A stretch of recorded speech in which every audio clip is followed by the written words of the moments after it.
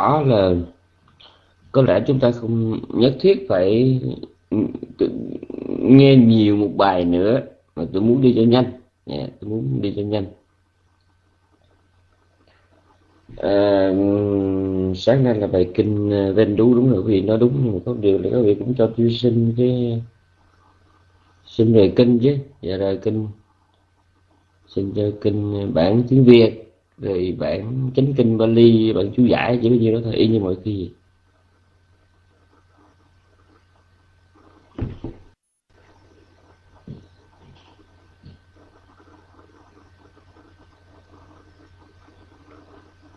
Dạ rồi.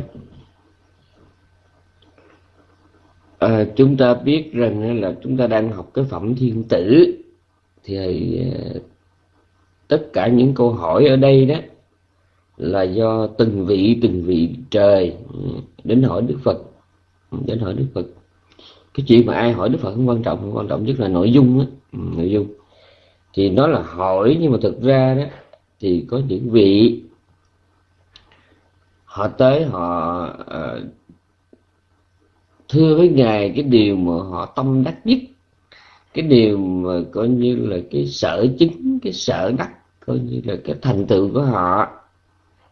Dạ, thành tựu. Họ giống như hôm nay mà quý vị thấy không ai xa đó, chính là những người phật tử bạn đạo của mình thôi. Cư sĩ hay cư sĩ với nhau. Ờ, mà nhiều khi mình, họ tới, họ cũng nói cho mình nghe. Vừa qua họ đi tu thiền ở đâu, vừa qua họ ờ, làm phước ở đâu, vừa qua họ dịch sách, họ viết lách cái gì cả cho mình nghe.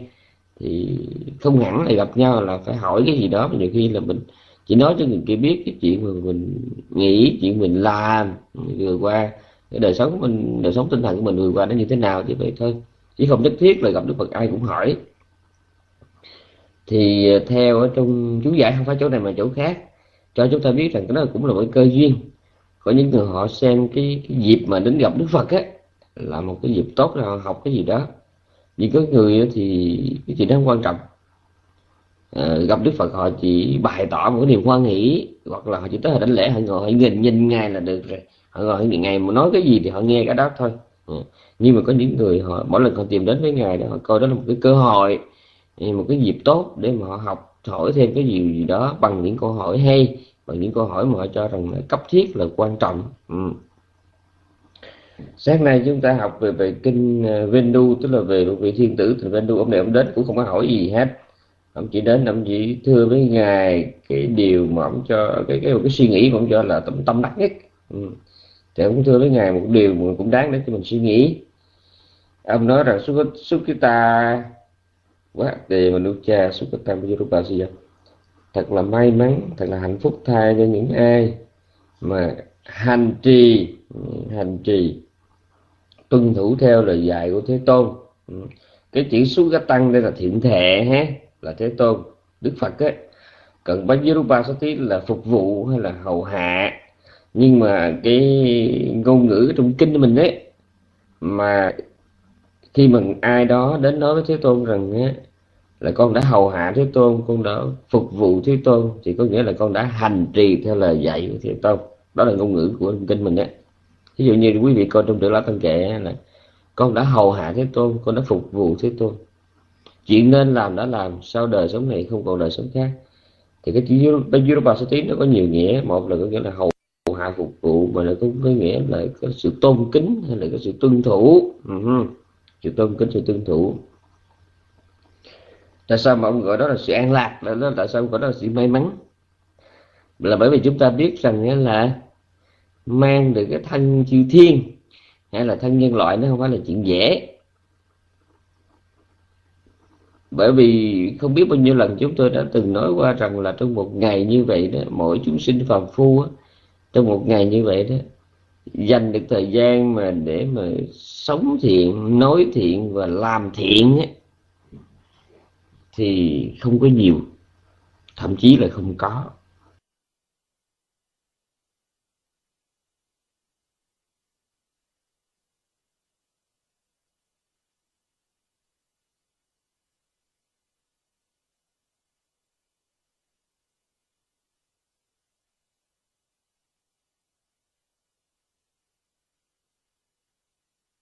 Thiện luôn luôn nó nhiều hơn nó nhiều hơn. Nhiều hơn là sống thiện nhiều hơn là cái giây phút mình làm thiện mình nói thiện. Đó là cái gì mà mình bắt buộc phải phải thấy cái điều đó. Dạ. Dạ, thật là đáng thương và thật là buồn cười cho những người ừ, mà tự thấy mình hay. Ở ngoài đời mình mới nói mình nói trong đạo á. À, thí dụ như họ thấy Ờ, họ, tự đắc tự mãn về giới luật về kiến thức Phật pháp hay là về cái hạnh bố thí hay là về cái hạnh phục vụ hay là về những cái sự thân quen của họ. Đối với chư tăng thực tử nhiều lắm. Đi chùa thấy cái loại người như vậy nhiều lắm. Họ có được chút ít họ thấy họ tâm đắc họ thấy họ thỏa mãn họ thấy họ vừa lòng họ thấy nó đã quá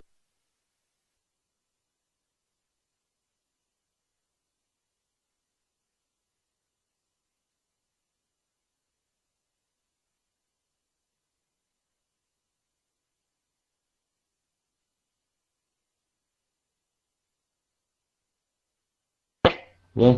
Cho nên thật là may mắn, thật là hạnh phúc thay cho những người nào mang được thân nhân thiên mà lại gặp được thế tôn, người lại gặp được chánh pháp và lại có thể hành trì như là lời dạy của đức phật. Ừ. Thì đức phật ngài trả lời lời nói là trả lời thì không có phải mà ngài xác nhận cái suy nghĩ của vị đó bằng một cái câu nói tương đương. Ừ, tương đương là sao? Cái ý của ngài là phải rồi phải rồi. Yemi bhavute satipade anusikhantichayino đúng rồi. Những người nào mà đến với ta đó anusikhanti là học tập ừ, thọ trì nhé. Bhavute Bhavute Satipade chỉ sách thế đây nó có nghĩa là Anusa Sati có nghĩa là dạy dỗ, hướng dẫn, thuyết giảng nhé. Đó, đúng rồi ở đây ai mà đến đến để mà học hỏi mà lắng nghe lời dạy của ta rồi sống thiền định đó ha thì kalete appamachante na machuasaya dùng tí. Tức là những cái người đó thật đúng rồi đúng rồi ngươi nói đúng rồi. Những ai mà đến học hỏi với ta biết sống thiền định đó, thì sao? Thì cái chữ cái chữ mà ngài Minh Châu ngày dịch đó ngày dịch là nghĩa là đúng thời họ sẽ đi ấy. Thì theo chú giải nói là cái chữ cái chữ này có nghĩa là với một cái người, cái câu này, cái câu này, nếu mà mình cứ ôm cái chữ Pali không đó, thì cũng có thể hiểu lầm, nhưng mà đọc luôn cả chú giải đó thì sẽ hiểu câu thế này. Là với những ai mà sống chuyên cần theo lời dạy của Đức Phật á, thì họ không có gì phải lo hết. Duyên tới thì tự động nó chứng. Nếu mà làm đúng rồi đó duyên tới tự động nó giống như hai người trồng cây một người thì trồng trồng sai một người thì trồng đúng cách. Thì đối với cái người trồng sai thì mình phải hướng dẫn họ làm lại yeah. đào cái hố đất cho nó sâu hơn một chút hoặc là làm cho nó cạn là một chút. Ừ, rồi phân phướng rồi nước nôi như thế nào thế nào. Rồi, nhưng mà đối với cái người mà làm đúng rồi đó thì mình chỉ nói cứ như vậy đi. Ừ, ông cứ như vậy bây giờ vấn đề vấn đề của ông là vấn đề thời gian thôi mà không biết các vị còn nhớ Việt Nam có cái câu nói đó hay không? Cái câu nói mà cái vấn đề bây giờ chỉ là thời gian thôi. Có nghĩa là mọi vị mọi việc nó đã đi vào quỹ đạo rồi. Nha mọi việc nó đã đi vào quỹ đạo rồi. Vấn đề ở đây chỉ là thời gian thôi. Nha. thì cái gọi là cái kali ti ấp Thomas Chanta là vậy đó. Có nghĩa là vấn đề ở đây chỉ là thời gian tức là với một người mà tinh tấn như vậy đó là sớm hay muộn thôi nhanh hay chậm thôi. Nên là nước đã vô mắng sói rồi nó không có chạy đi đâu đâu. Ừ, nó không có chạy đi đâu hết đây cũng một lời an ủi cho chúng ta. Cứ nếu mà làm, cứ nếu mà đã đúng rồi, cứ đã hành trì mình tương ứng với kinh, mà tương đồng với luật rồi, thì vấn đề chỉ là thời gian sớm muộn. Và ở trong tăng chi bộ kinh đó, đức phật ngài có dùng một hình ảnh rất là đẹp rất là tha mộng. Ngài nói rằng trong cái biển đời sinh tử này nè ừ, cái kẻ phàm phu thì liên tục và liên tục ừ, đầu tư ừ, sửa chữa chăm sóc cái con thuyền sanh tử của mình. Ừ. Để mà tiếp tục trôi nổi ừ, triền miên từ bến từ cái phương này qua cái phương khác của biển lớn.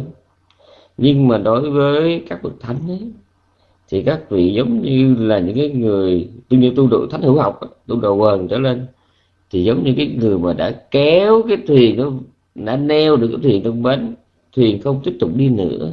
Và đối với vị a la hán thì ngài ngày giống hệt như là một cái chiếc thuyền đã bị kéo lên cạn và đang bị mưa nắng làm mục. Chiếc thuyền không còn tiếp tục sử dụng được nữa. Ừ, các vị các vị có theo học thì giống như chiếc thuyền mà đã neo trong bến rồi ừ, không còn đi nữa đã bị đục lũng rồi ừ, đã bị hư rồi đã bị hư mái, đã bị lũng lũng ván lũng đáy thuyền rồi. Nhưng mà cũng còn nằm cũng còn nguyên cái xác thuyền mà với riêng vị a la hán thì giống như một con thuyền nát một con thuyền mục ở trên bờ biển vậy đó. Không còn tiếp tục dông rủi lang thang và trôi dạt trên cái biển đời sinh tử nữa. Ừ. cho nên cái vấn đề đây là vậy đó. Cái câu bài kinh ờ, Vendu này không có gì để cho bà con phải nhân này nhíu mà khi nghiên cứu nha à, cái câu cuối cùng nó có cái câu là mắt chú bác sẽ ra nếu mà nói cho đủ á, thì người ta thấy cái này nó có nó dài nha. Mấy chú ở đây là thành chết quá sát đây tức là power. Ừ. Còn chữ ga này có nghĩa là đi. Mất chú quá sẽ ga có nghĩa là còn lui tới còn lai vãng ừ, còn khứ hồi. Ừ. Ở trong cái cái cái, cái quyền lực trong cái quyền lực trong cái sự chi phối của cái chết. Còn đối với bậc thánh thì không. Nát mất chú quá quá ga có nghĩa là không còn tiếp tục lui tới trong cái chết nữa ở đây có nghĩa chẳng hạn như mình đi về cõi phi tưởng phi phi tưởng mình sống lâu bao nhiêu đi nữa, mấy chục ngàn đại kiếp rồi thì cũng có lúc nó hết tuổi thọ. Hay là mình làm con ruồi, con mũi, con trùng, con dế thì nó sống được năm, ba ngày, năm, ba tháng rồi nó cũng chết. Nói chung hệ có mặt trên đời này rồi phải chết. Cho nên chỉ có cái sự không sanh tử, chỉ có sự viên tịch của bậc thánh thì mới nằm ngoài mọi cái sự chi phối, mọi sự ảnh hưởng của cái chết bài kinh tiếp theo là bài kinh đi thí, cho tôi xin bài, cho tôi xin bài kinh đó. Cho tôi xin bài kinh tiếp theo là bài kinh đi thí. Bài kinh đi thí đó, tôi chỉ tôi chỉ giải thích bằng một câu thôi. Các vị có bao giờ nghe sang như vậy chưa? Các vị các vị nghe sang như vậy chưa?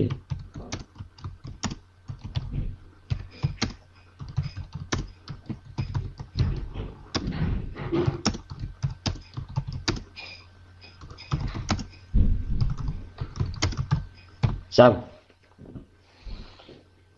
Không ừ, đó. Tức là cũng bây giờ chúng ta đang học về phẩm thiên tử nha. Thì phẩm thiên tử nó có nhiều bài bài mà mình đang học đây là một là những bài sau cùng của phẩm thiên tử nha. Thì cái bài số 2 đấy được kinh cách bá số 2 ừ, của cái phẩm này nè. Các vị quay trở lên đi nha. Các vị biết mà các vị có có thương bộ kinh ấy, các vị coi ngược lại trở lên lên trên coi ngược lên trên. Ừ. Các vị còn nghe rõ không? Các vị còn nghe rõ không? Dạ rồi, đúng đúng đúng đúng đúng đúng rồi, đúng. Cũng cái phẩm này nè. Ông dương điêu rất là nhanh rất là nhanh. Cũng cái phẩm này nè, thì các vị cứ rất là nhanh, vừa nói là có liền.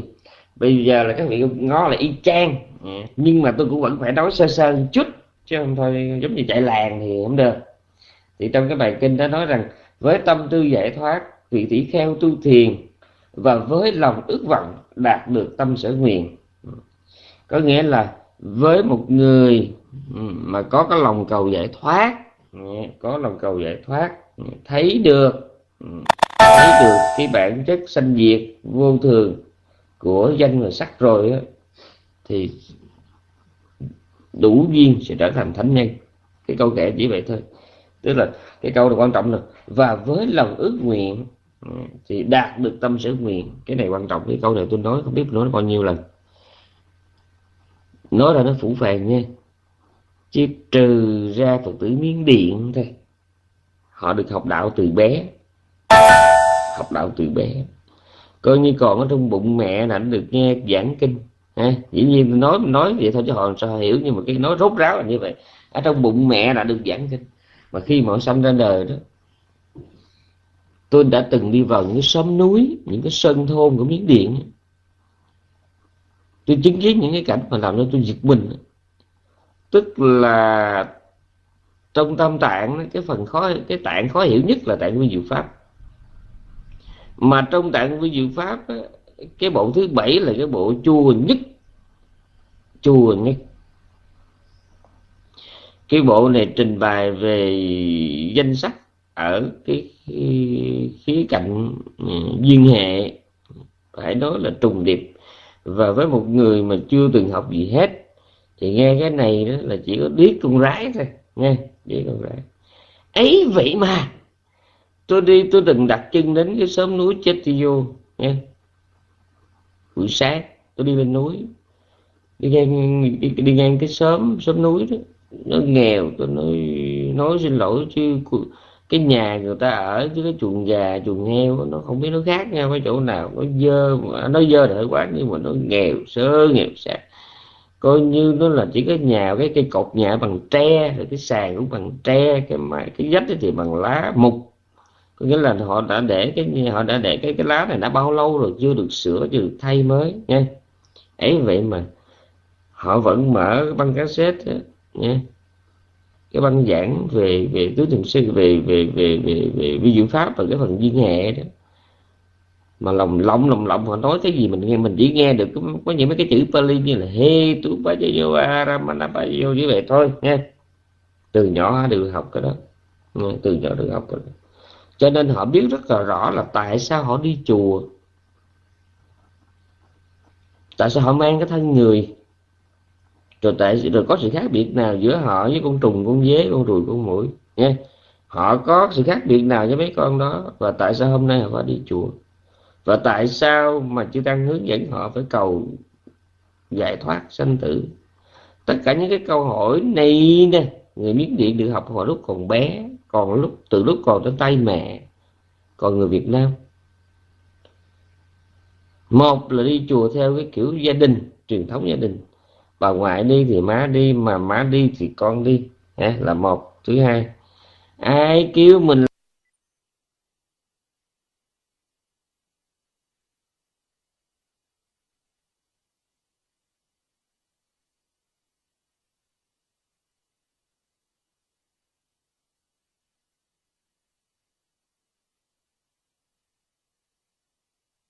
mà gục cái mặt hấp nước mắm. Ha kêu tụng kinh Bali thì cứ tụng kinh Bali. Nhưng mà thử hỏi trong những người Phật tử Nam Tôn, có bao nhiêu người hiểu được rằng tại sao mà tôi có mặt ở trên đời này và tại sao mà tôi lại phải chấm dứt sanh tử? Và cái pháp môn hành trì của tôi như bây giờ, cái kiểu tu của tôi bây giờ này nó có đúng chưa? Nó có đủ chưa? Chúng ta không có cái may mắn đó cho nên, tại sao tôi phải nói một đường rất là rộng là tôi đã là về kinh này? Và với lòng ước vọng đạt được tâm sở nguyện, sau khi biết cuộc đời sanh khởi rồi đoạn diệt. Là vậy đó, là vậy đó. Có nghĩa là rằng thì là có thể mình là một vị sư, một tu nữ hoặc là một phật tử, nhưng mà chúng ta hoàn toàn, chúng ta mù tịt là mình là cái gì, ở đâu mình tới mình sẽ đi về đâu và mình cần thì phải làm cái gì trong thời điểm này? Mình không biết cái đó. Rất có thể rất có thể là mình không biết. Tức là mình không có sợ sanh tử không có nhàm chán cái sự có mặt của danh sắc. Mình sợ nhiều lắm lắm lắm lắm lắm lắm là mình sợ cái khổ khổ thôi. Cái, cái nghĩa là sự có mặt của những gì nó làm cho mình thấy khó chịu thôi. Chứ còn mà cái hoại khổ là cái sự biến mất của hỷ lạc rồi. Mình không thấy đó là điều đáng ngại. Trong khi đó là bậc hiền trí đó cái khổ khổ không làm cho họ e ngại nhiều ừ, bận tâm nhiều bằng hai cái khổ sao tức là cái hoại khổ và hành khổ. Tôi nói như bạn có nghĩa là gì? Có nghĩa rằng là đối với một cái người mà trơn tâm tu hành đó, cái khổ họ có thể gồng mà chịu nổi. Nhưng mà cái mỗi lần họ nhớ đến cái chuyện mà các những gì trên đời này sinh ra rồi phải biến mất chỉ cần họ nghĩ đến cái chuyện mà mọi thứ trên đời này muốn tồn tại phải lệ thuộc vào vô số nhân duyên điều kiện. Họ phải nhớ rằng mọi thứ ở đời này tùy duyên mà sanh rồi cũng theo duyên mà diệt. Họ chỉ nhớ bao nhiêu đó là họ lạnh nhân sống họ muốn chấm dứt. Họ thấy đó là một sự lặp lại. Sự, mọi hiện hữu chỉ là sự lặp lại. Ừ, sự lặp lại sự lui tới. Ừ, sự lui tới sự trùng phục. Ừ, sự tái hiện mệt nhoài tẻ nhạt vô vị, từ đời này sang kiếp khác. Họ như chán là chán, chữ săn xa ra chán vậy đó. Họ thấy rằng bây giờ có hưởng cái gì thì cũng là sự lặp đi lặp lại. Có một lúc nào đó các vị nghĩ lại coi. Từ sáng là đã rời nhà đi làm đi làm để sống sống để đi làm và đi làm để sống. Hết thế hệ này sang thế hệ khác. Con nít mờ đất là ôm cái cặp đi học. Còn không nó thì mờ đất là cầm cái sắp vé số, đi cả ngày, tối về, tắm rửa xong chung như buồn ngủ, sáng hôm sau tiếp tục đi bán vé số tiếp. Tiếp tục đi học tiếp, đi học. Học tới mốt ra trường, lấy chồng, lấy vợ, sinh con, đẩy cha mẹ sang một bên, cắm đầu lo cho vợ chồng con cái của mình. Về già, rồi thì cũng nằm một chỗ đó chờ chết rồi con cháu mình, cái thế hệ sau nó vẫn tiếp tục nó đi theo cái con đường đó. Cứ đi cày, cứ đi cày để có nhà, có cửa, có gia đình, có mái ấm. Rồi lăn đùng cho nó nằm lạnh ngắt cứng đơ rồi thế hệ sau nó cứ tràn lên, nó làm như vậy. Chừng đó mà nhiều người không thấy sợ, chứ đúng ra ở trong đây trong nên nói là với lòng ước nguyện, đạt được tâm với lòng ước vọng của tâm ước nguyện là sao? Như là có cái lòng cầu giải thoát. Họ thấy họ ngán quá họ thấy cái sự lặp đi lặp lại lặp đi lặp lại như có lần đức thế tôn đi khất thực đi ngang một cánh đồng. Thì có một cái vị bà la môn ông đứng dưới ruộng ông dòm lên thấy ông nói khỏe mạnh mà không điệu đi làm ăn một cái sinh hoài tôi đi làm ruộng đến đây. Thì cái đức thế tôn liên, liên tục thì dài đổi chứ không phải ở hoài. Nhưng mà ông nói vậy đó ông nói là ngày nào cũng thấy đi là đi ăn xin ở đây hết. Đức phật trả lời thế này không ta không có đi ăn sinh hoài đâu ta đi cái có kiếp này là kiếp chót rồi chỉ có ngươi, nếu mà ngươi không có tu hành đấy, hả? Không có hiểu đạo, thì chẳng những kiếp này ngươi cài rượu, mà còn vô số kiếp ngươi sẽ cài rượu. Thì ngài mới đọc của các bài kệ gồm 14 câu. Ở đây, đời này và kiếp khác, kẻ ngu tiếp tục đi tìm vào chỗ tái sinh. Đời này và kiếp khác, kẻ ác bị đọa lạc. Đời này và kiếp khác, người thiện sanh thiên giới. Đời này và kiếp khác, phàm phu cứ luân hồi đời này và kiếp khác nông phu cứ cày ruộng đời này và kiếp khác thương gia cứ buôn bán. Tức là một bài kệ 14 câu mình đọc qua mình thấy nó, nó lẫm xương sống. Tức là ngài không có nói gì nhiều mà ngài chỉ lặng lẽ bằng một hai chữ nhẹ nhàng thôi. Ngài đã lặng lẽ phát họa nên cái bức tranh của cái dòng sanh tử nó buồn chán như thế nào. Cứ đời này kiếp khác người thiện sanh thiên giới đời này về kiếp khác kẻ ác bị đọa lạc đời này và kiếp khác phàm phu bị sanh tử lặp đi lặp lại mình thấy đó. Thấy bài kệ không có gì mà ngồi ngẫm thấy lạnh sống nha. Có nhiêu đó là cái đời này và kiếp khác nông phu cày bừa trên ruộng. Đúng. Không có hình ảnh nào mà nhìn nó lạnh sinh sống bằng cái hình ảnh của một con trâu nó cài trên đồng. Cánh đồng sinh tử nắng cháy ruộng thì nứt. Thì đó chính hình ảnh phải nói là trung thực của một cái kẻ sinh tử. Cho nên đây đó, tuy nó đã nói giảng rồi nhưng mà tôi vẫn có giảng lại là với tâm tư giải thoát thì tỷ theo tu thiền và với lòng đức vọng đạt được tâm sở nguyện. Sau khi biết cuộc đời sanh khởi rồi đoạn diệt ừ, tâm thuần không chấp trước, hưởng lợi quả như trên là vậy đó. Tức là có cái lòng ngán sanh tử thiệt, có cái lòng cầu giải thoát thiệt ừ, và có một con đường duy nhất. Có một con đường duy nhất để chấm dứt sanh tử, đó là biết rõ ra sự thật ừ, nhận thức ra sự thật nếu có người hỏi tóm tắt đạo Phật là gì thì mình có thể nói như vậy thôi. Mọi hiện hữu là khổ. Đó là cái khổ đế. Cái thứ hai, nhận ra được điều đó là chấm dứt sinh tử. Tôi biết tôi nói về nhiều người mà mê chi pháp đó, khó chịu lắm. Nó tại sao tứ đế tôi gom là còn có hai câu nghe rất là kỳ. Nhưng mà các vị nghĩ kỹ thì đức phật có nói như vậy hay không? Có. Này các tỳ kheo, trong trong cái tấm thân một sải này ta chỉ nói đến khổ và con đường diệt khổ thôi khổ có nghĩa là mọi hiện hữu. Dầu sanh làm trời làm người làm thú. Đấy, cũng là mọi hiện hữu là khổ. Thứ hai nhận thức được cái chuyện đó. Có nghĩa là nhận thức được rằng mọi hiện hữu là khổ đó. Đó chính là con đường thoát khổ. Nếu mà nó đơn giản thì nói như vậy. Yeah. Dầu là giới luật hay là thiền định hay là bố thí hay là phục vụ nó cũng chỉ có nhắm đến một chuyện thôi là giúp cho mình nhận thức được rằng mọi hiện hữu là khổ. Thì đó chính là con đường tứ niệm xứ nhưng mà thay vì nói tới niệm xứ thì ở đây chúng tôi không có nói nhắc tới cái tiểu chuyên môn đó.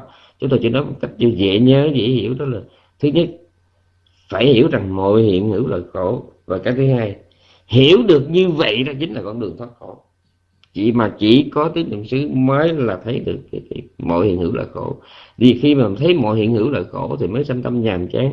Từ nhàm chán nó mới dẫn đến cái ly tham và từ ly tham nó mới dẫn đến giải thoát. Uh-huh. cái bài kệ này để ý đến như vậy mọi người là nhận thức được khổ chính là con đường giải thoát đúng rồi. Dạ. chỉ vậy thôi. Chứ còn mà, mà giả sử như có ai đó họ đề nghị mình đó, Phật pháp mênh mông kinh điển thì trùng điệp bây giờ gom gọn được hay không mà cứ nói sự bằng sự bằng không cần nhiều. Bởi vì chính Phật đã trả lời cho mình rồi. Trong tấm thân một sải này ta chỉ nói đến hai chuyện thôi. Đó là khổ và con đường thoát khổ cho nên bao nhiêu kinh điển mà ngày ngay cả trong tăng lực, thì kheo phải như vậy, thì kheo không được như vậy, hoặc là có khi ngày dạy cư sĩ cư sĩ phải như vậy, cư sĩ không như vậy. Nếu mà tính ra kinh điển thì trùng điệp, nhưng mà bây giờ tổng chi nói gọn lại là cái gì? Chỉ có hai chuyện đó thôi. Ngài cho biết rằng mọi sự có mặt là là khổ, rồi cái gì nữa? Là không cần thiết. Có lần đó đức phật ngày dạy như sẽ là phất ngày nói này sẽ là phất giống như là một cái que gỗ ừ, bị cháy hai đầu. Có nghĩa là không còn dùng được đầu nào đó. Bị một cái que là gỗ nghĩa là miếng gỗ nhỏ không có lớn, là bị cháy hai đầu mà dính giữa là dính phân. Có nghĩa là khúc gỗ này không còn một cái chỗ nào để xài được nữa. Thì cũng vậy, một chút xíu sinh tử, một chút xíu tồn tại dùng hình thức tồn tại vi tế nhỏ nhẹ nhiệm đến mấy đi nữa, thì ta nói rằng nó cũng đáng lìa bỏ thì dĩ nhiên đây là cái cái nhìn của một bậc thánh còn mình thì chưa. Tôi đã nói không biết bao nhiêu lần, tôi nói rằng thật ra đó, tôi vẫn còn yêu cái cuộc đời này lắm.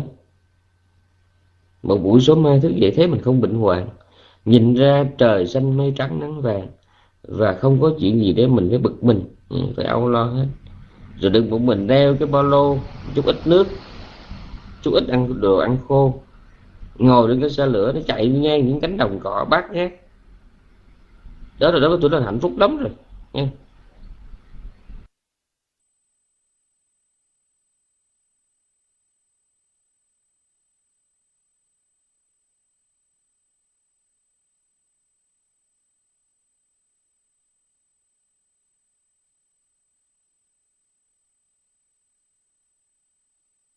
ác buồn vui. Nó cứ đi theo cái nhịp độ như vậy đó. Cứ thiện ác buồn vui buồn vui thiện ác thiện ác buồn vui.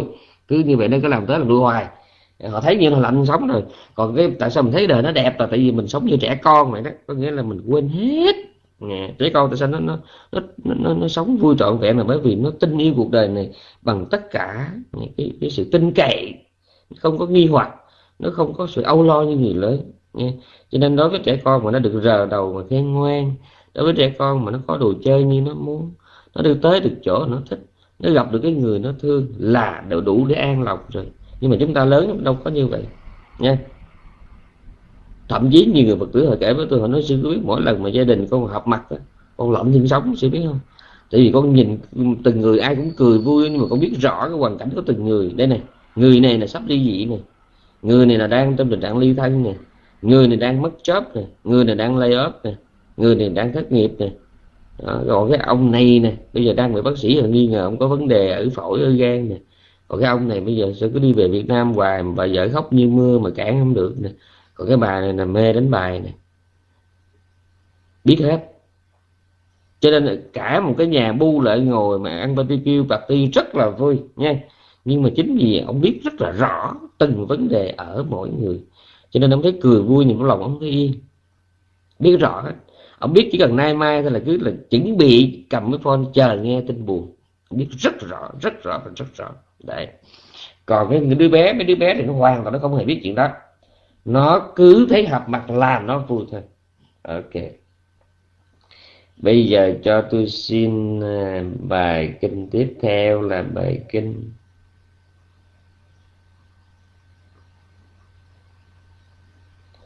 bài kinh tiếp theo là bài kinh năm đánh đấy nha bài kinh năm đấy tại bài kinh năm đấy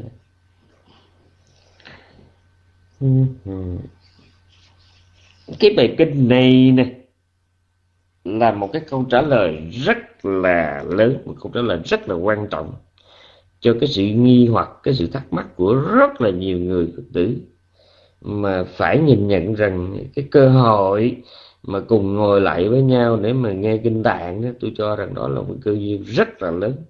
Bởi vì nó có nhiều cái lợi là chỉ vì có cái lớp như thế này nè chúng ta mới có dịp ngồi đọc lại từng bài từng bài. Chứ nếu một mình mình á, mà kêu mà đọc từ bài một tới bài ngàn của của mấy bộ kinh rất lạnh sống đọc không nổi phải nói như vậy. Nhưng bây giờ nó bị gài vô cái thế là bây giờ không muốn cũng phải ngồi nghe. Thì dĩ nhiên ai bắt mình đâu nhưng mà ví dụ là bây giờ mà giờ mình cái bài kinh này mình không có thích lắm nhưng cũng phải ráng nghe chứ không lẽ mình bỏ. Có người ta nói miễn phí cho mình mắc thì mình ngu rồi mình bỏ. Mà nhờ vậy nhờ mình không bỏ sót bài nào hết và nhờ vậy mình mới phát hiện ra nhiều cái chuyện chẳng hạn như cái bài này. Cái bài bài, bài này nè cái bài gọi là cái bài năm đánh đá này nè. Nếu mà mình tự mình đọc thì mình lướt ra mình thấy không có gì hết. Nhưng mà đó là một cái câu trả lời rất là quan trọng cho một câu hỏi lớn. Uh-huh. cho một câu hỏi lớn. Ok cảm ơn cho xin cái câu ờ, cái câu kinh đây nó lớn ở chỗ nào? À, ở đây chúng tôi chú thích một cái một vài chữ khó thôi. Con hỏi của tam ma bậc đại giác toàn trí. Uh-huh. thì ở đây đó ở trong đây thì có dùng cái chữ đại giác toàn trí. Tôi thưa thì các bà con một chuyện. Nếu mình chỉ đọc qua cái bản dịch tiếng việt ấy, cái cái cảm giác của tôi đối với đức phật ấy, hoàn toàn có nhiều có nhiều bài kinh nó không có bằng một một một phần trăm của cái cái cái chuyện cái cái, cái lúc mình đọc thẳng cái bản kia thì ở đây mình đọc bản tiếng việt tôi không dám chê nhưng mình phải nhìn nhận cái tiếng việt cái nam mình á ngay chỗ này mình đọc mình nghe nó có cái không khí mà nó không có giống trong kinh tí nào hết ừ. câu hỏi Gautama bậc đại giác toàn trí rồi với tri kiến vạn năng thì dĩ nhiên mình không dĩ nhiên cái bản Pali sao dịch vậy thì chứ bây giờ ừ, dịch có nghĩa là tìm giữ tương đương thôi chứ làm sao mà ừ, có thể giữ được cái hồn cái vía cái phách ừ, của cái ngôn ngữ gốc được. Cái này đọc trong đây cảm thấy đã lắm đã lắm. Thì nguyên bài kể này tại sao tôi khen bài kinh này là, là là nó hay ra chỗ nào đó là thay vì cái định nghĩa của mình á là bạch thế tôn ai là cái thế nào là gọi là trì giới thế nào gọi là trí tuệ? Thế nào là vượt sầu khổ? Cái người nào đáng để cho chư thiên lễ bái cúng dường? Thì tùy gặp mình á thì mình vừa liếc vào câu hỏi này cái là mình ngồi mình nghĩ liền. Trì giới làm sao? Yeah, rồi cái trí tuệ làm sao? Làm cái cấm đầu mình giải thích. Ở đây Đức Thế Tôn không có giải thích như vậy trong trường hợp này. Ngài không giải thích như vậy. Có có lúc thì ngài ngài nói riêng, giới luật làm sao, thiền định làm sao, trí tuệ làm sao? Nhưng mà ở đây thì ngài lại giải thích một cách rất là lạ, rất là độc đáo. Có nghĩa là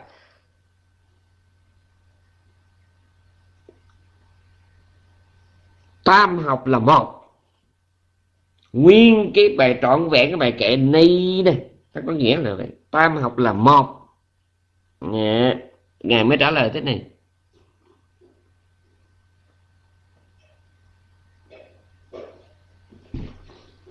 Độc đáo thế này.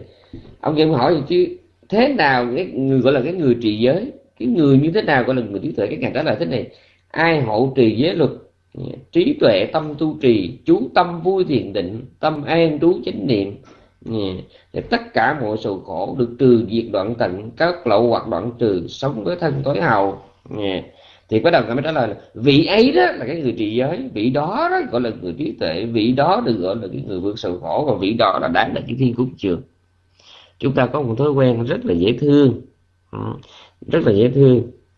Chúng ta đây là, người là mình nói là người Việt Nam mình đó thường phật tử mình có thói quen rất là dễ thương có nghĩa là cứ là y kinh mà giải thích thôi. Ừ, thí dụ như là mình cứ hiểu Phật pháp theo kiểu hàng dọc bây mình hiểu là có do có vô minh nó mới duyên do hành. là mọi thứ nó quan hệ thì cái kiểu là đường đường thẳng ấy, hàng dọc á. Là cái do cái hành nó mới duyên vô thức. Tức là cái ông nội này ông có trước, rồi cái ông kia có sao nó đi theo cái kiểu di truyền như vậy. Để chúng ta hiểu về kiểu như cách như vậy. Chứ chúng ta có đâu có thể chịu hiểu rằng ngay bây giờ nè, ngay trong cái lúc mà 6 giờ 15 3 giây này nè, trong cái khoảnh khắc này nè, là coi như nguyên một cái đống duyên thể nó có một, cùng một lúc nó có mặt ở trong đầu của mình mình đâu có ngờ được mà tôi tôi tiếp xúc với những người phật tử học ở Di Đàm họ hiểu như vậy đó. Những người không học ở Di Đàm họ nghĩ như vậy đó.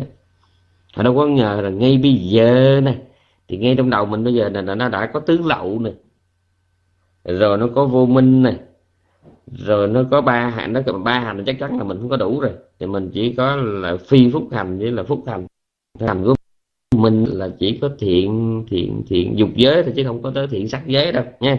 Cho nên là ngay bây giờ là mình trong đầu mình chỉ có cái phúc hành dục giới thôi nha rồi có thể có tức nghĩa là cái phi phúc hành là 12 bất thiện. Nó xen kẽ với cái phúc hành dục giới. Rồi là à, nó chỉ không có danh sắc thời tái tục thôi. Chứ còn nó có là xúc nè thọ nè ái nè, thủ hữu. Hữu đây gồm có nghiệp hữu nha. nó có đủ. À, rồi nó cũng nếu mà nói theo vi pháp thì nó có cả các có cả sanh nữa. Sanh ở đây nó là cái sự có mặt sự xuất hiện của danh và sắc đó. Rồi lão tử ở đây không phải là lão là lưng còng má hết, mà đây là cái sự cằn cõi của sắc pháp. Còn tử đây không phải là cái sự mà tắt thở, xuôi tay, nhắm mắt, mà nó là cái sự biến mất từng lúc từng lúc từng lúc của mỗi mỗi mỗi cái sắc na tâm. Ừ. Cho nên ngay một cái tích tắc, một phút thôi là nó đã có nguyên một cái đống duyên khởi trong lòng của mình rồi. Mình có thể quan hiểu thôi ngay như vậy. Rồi thì mình không có hiểu được như vậy và rồi thì đối với giới định, cũng với giới định tuệ mình, đối với ba cái thứ đó, ba, đối với tam học mình cũng hiểu như vậy đó. Mình cũng hiểu là giới tu trước, rồi mới định tu sau, rồi sau nó mới có mới có tuệ. Cách hiểu này không có sai lắm đâu, nhưng mà nó hơi hồn nhiên chút. Ừ, nó hơi hồn nhiên chút. Là bởi vì chúng ta biết rằng là không có lúc nào giới nó rời khỏi cái lòng của người tu thiền ngay cả một cái người họ đang tu thiền chỉ hay tu thiền quán thì lúc nào cái giới nó cũng gắn liền với họ hết. Nha thì cái điểm giới mình hiểu theo kiểu của mình á, giới thì có nghĩa là ừ, năm giới, tám giới, mười giới ừ, sa di giới tùy kheo giới tùy kheo ni giới, cư sĩ giới, xuất gia giới. Mình cứ nghĩ như vậy. Nhưng mà thật ra cái giới đây tức là sự cố ý ngăn chừa, ngăn tránh. Ừ. đối với tam nghiệp bất thiện thì sự cố ý này này thì gọi là giới gọi là tiếng Bali gọi là virati chetana nha cho nên đối với, với, với bất cứ giây phút nào nhưng mà mình có cố có lòng cố ý ngăn trừ đối với cái tam nghiệp bất thiện thì giây phút đó được gọi là đang có mặt của giới nha biết các vị có nghe kịp không? Thì như lẽ ra mình nói câu đó nhưng mà mình kèm lại được thì đó là giới.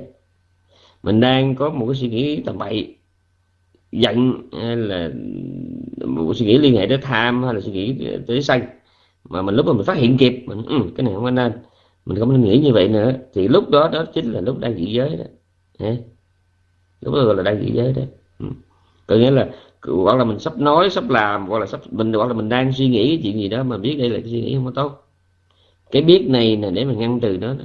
thì cái đó được gọi là đang dị giới. Ừ. mà hãy ngay cái lúc mình giữ chánh niệm như vậy đó ngay cái lúc đó là rõ ràng là mình cũng trong đây cảnh đức Phật dạy là đang trú chánh niệm rồi ngay cả cái người đang tu thiền chỉ cũng vậy. Lúc mà họ cố ý họ tu tập thiền chỉ đó, năm truyền cái xuất hiện nó được đè nén. Thì cái sự mà, mà đè nén năm truyền cái ni này cũng được gọi là giới.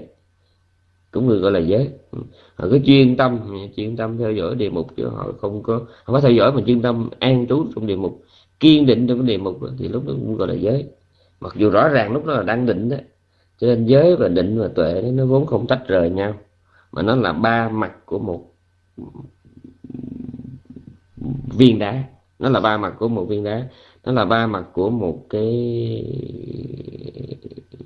kim tự tháp. Ừ. bốn cạnh. Ừ. chỉ vậy thôi. Thì cái độc đáo của bài kinh này nên đức phật gom lại hết. Tức là ai mà có thiền, ai mà có giới luật nè, ai mà có thiền chỉ, ai mà có thiền quán. Ừ, ai mà nhờ những cái này, nhờ tâm học mà chứng được ừ, chứng được ai mà chứng được cái thánh trí chấm dứt được phiền não thì người đó được gọi là. À, bắt đầu kể nguyên dây ra được gọi là cái người trì giới được gọi là người có trí tuệ được gọi là cái người vượt sầu khổ được gọi là cái người đáng để cho chư thiên lễ bái cúng dường. Là như vậy đó. Mà tại sao ở đây lại nhấn mạnh đến chư thiên? Là bởi vì mình thấy con người mình thì lại chư thiên lại trời lại thần lại quỷ ha. Chứ chư thiên họ có nể ai không? Chỉ có chư thiên mới là sợ cái hàng phước mạc phước mặt. Chứ chư thiên họ chỉ nể cái người nào hơn họ thôi. Còn cái loại người mình thì không. Loại người mình đó mình cúi đầu trước rất là nhiều đối tượng. Cái người mình sợ, mình cũng cúi đầu. Cái người mình quý, mình cũng cúi đầu. Và cái người mình mù mịt, mình chỉ hiểu lầm họ, mình cũng có thể cúi đầu. Mà chư thiên thì không. Chư thiên họ chỉ cúi đầu trước cái người nào họ thật sự hiểu đây là ai. Và hiểu rõ là tại sao tôi cúi đầu trước người này. Chư thiên về cái điểm này hơn mình, nha biết rõ đây là ai và tại sao tôi phải cúi đầu trước con người này. Còn nhân loại thì không. Nhân loại mình đó thì coi như là gốc cây, bụi, chuối. Ông tà, ông táo, cái giống giải gì mình cũng quỳ mình lạy được hết. Ừ. Cho nên được cái sự kính lễ của chư thiên không phải là chuyện dễ. Về cái người đáng được, cái sự nhận nhận, đáng được nhận được cái kính lễ của chư thiên là chỉ có các bậc thánh thôi. Có một lần đó, Đức Thế Tôn đang ngồi, ngài nhìn thấy có hàng ngàn vị phẩm thiên ừ, đang đảnh lễ ngài Ma Ha Cấp đó Thế Tôn mỉm cười. Ngài mỉm cười là vì ngài hoan nghĩ ngài nhìn thấy cái thiện. Hay những cái thiện này nó nó đang hợp mặt. Những cái thiện này nó đang được kết hợp. Là bản thân ngài ba cái tiếng nói là một bậc thánh, là một cái chuyện, một hình ảnh quá đẹp. Mà hàng ngàn chi thiên đang đảnh lễ một con người như vậy. Uh-huh. Nhìn thì hoan nghĩ. Và có một lần đó, ngài ngày ngày ngồi ở trong chùa mà ngày với thiên nhãn và thiên nhĩ. Ngày theo dõi được cái cuộc nói chuyện của ngài rất là pháp vượng liên, ngài cũng nói lên cái lời hoan hỷ. Ừ. Thì mình thấy rằng ở trong cái thế giới của những vị có thần thông, nó đẹp như vậy đó. Còn nếu một người sống một là ít phước báo, hai là ít trí tuệ, ít khả năng, thì cái đẹp trong đời sống mình nó nghèo hơn, thậm chí nó không có. Ừ. cho nên ở đây, cái người mà đáng để cho chư thiên đảnh lễ là ai? Đó chính là cái người không còn phiền não nữa. Loài người thì lại lục chư thiên quỷ thần mà chư thiên họ chỉ có thể lại được bậc hiền thánh hiền trí. Uh-huh. bây giờ chúng ta học tiếp theo bài kinh tranh đó nhé. Tiếp theo bài kinh tranh đó nhé. Chúng tôi chỉ chú thích chỉ khó cho các vị thôi.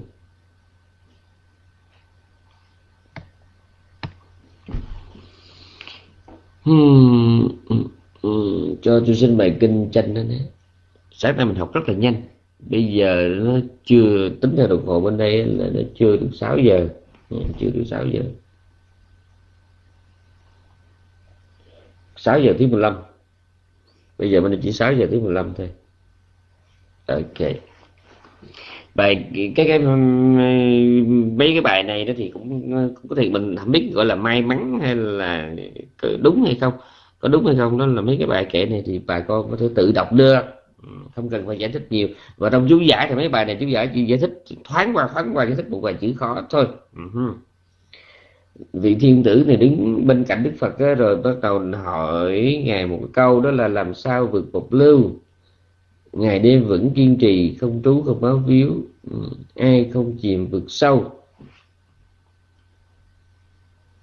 Chúng ta có sống à, chánh niệm có sống trí tuệ có sống chìm sâu ở trong Phật pháp thì chúng ta sẽ thấy với cái bài kệ này nó nó một là thấy nó dễ hiểu và mới và mới hiểu được tại sao có những người họ có những câu hỏi như thế này. Còn nếu mình sống phóng vật sống thất niệm sống không có niềm tin sống không có trí tuệ thì mình thấy trên đời này tại sao có những người họ hỏi họ có những suy nghĩ rất là kỳ cục làm sao vượt bột lưu, ngày đêm vẫn kiên trì không trú, không bám víu, không chìm vực sâu? Là sao?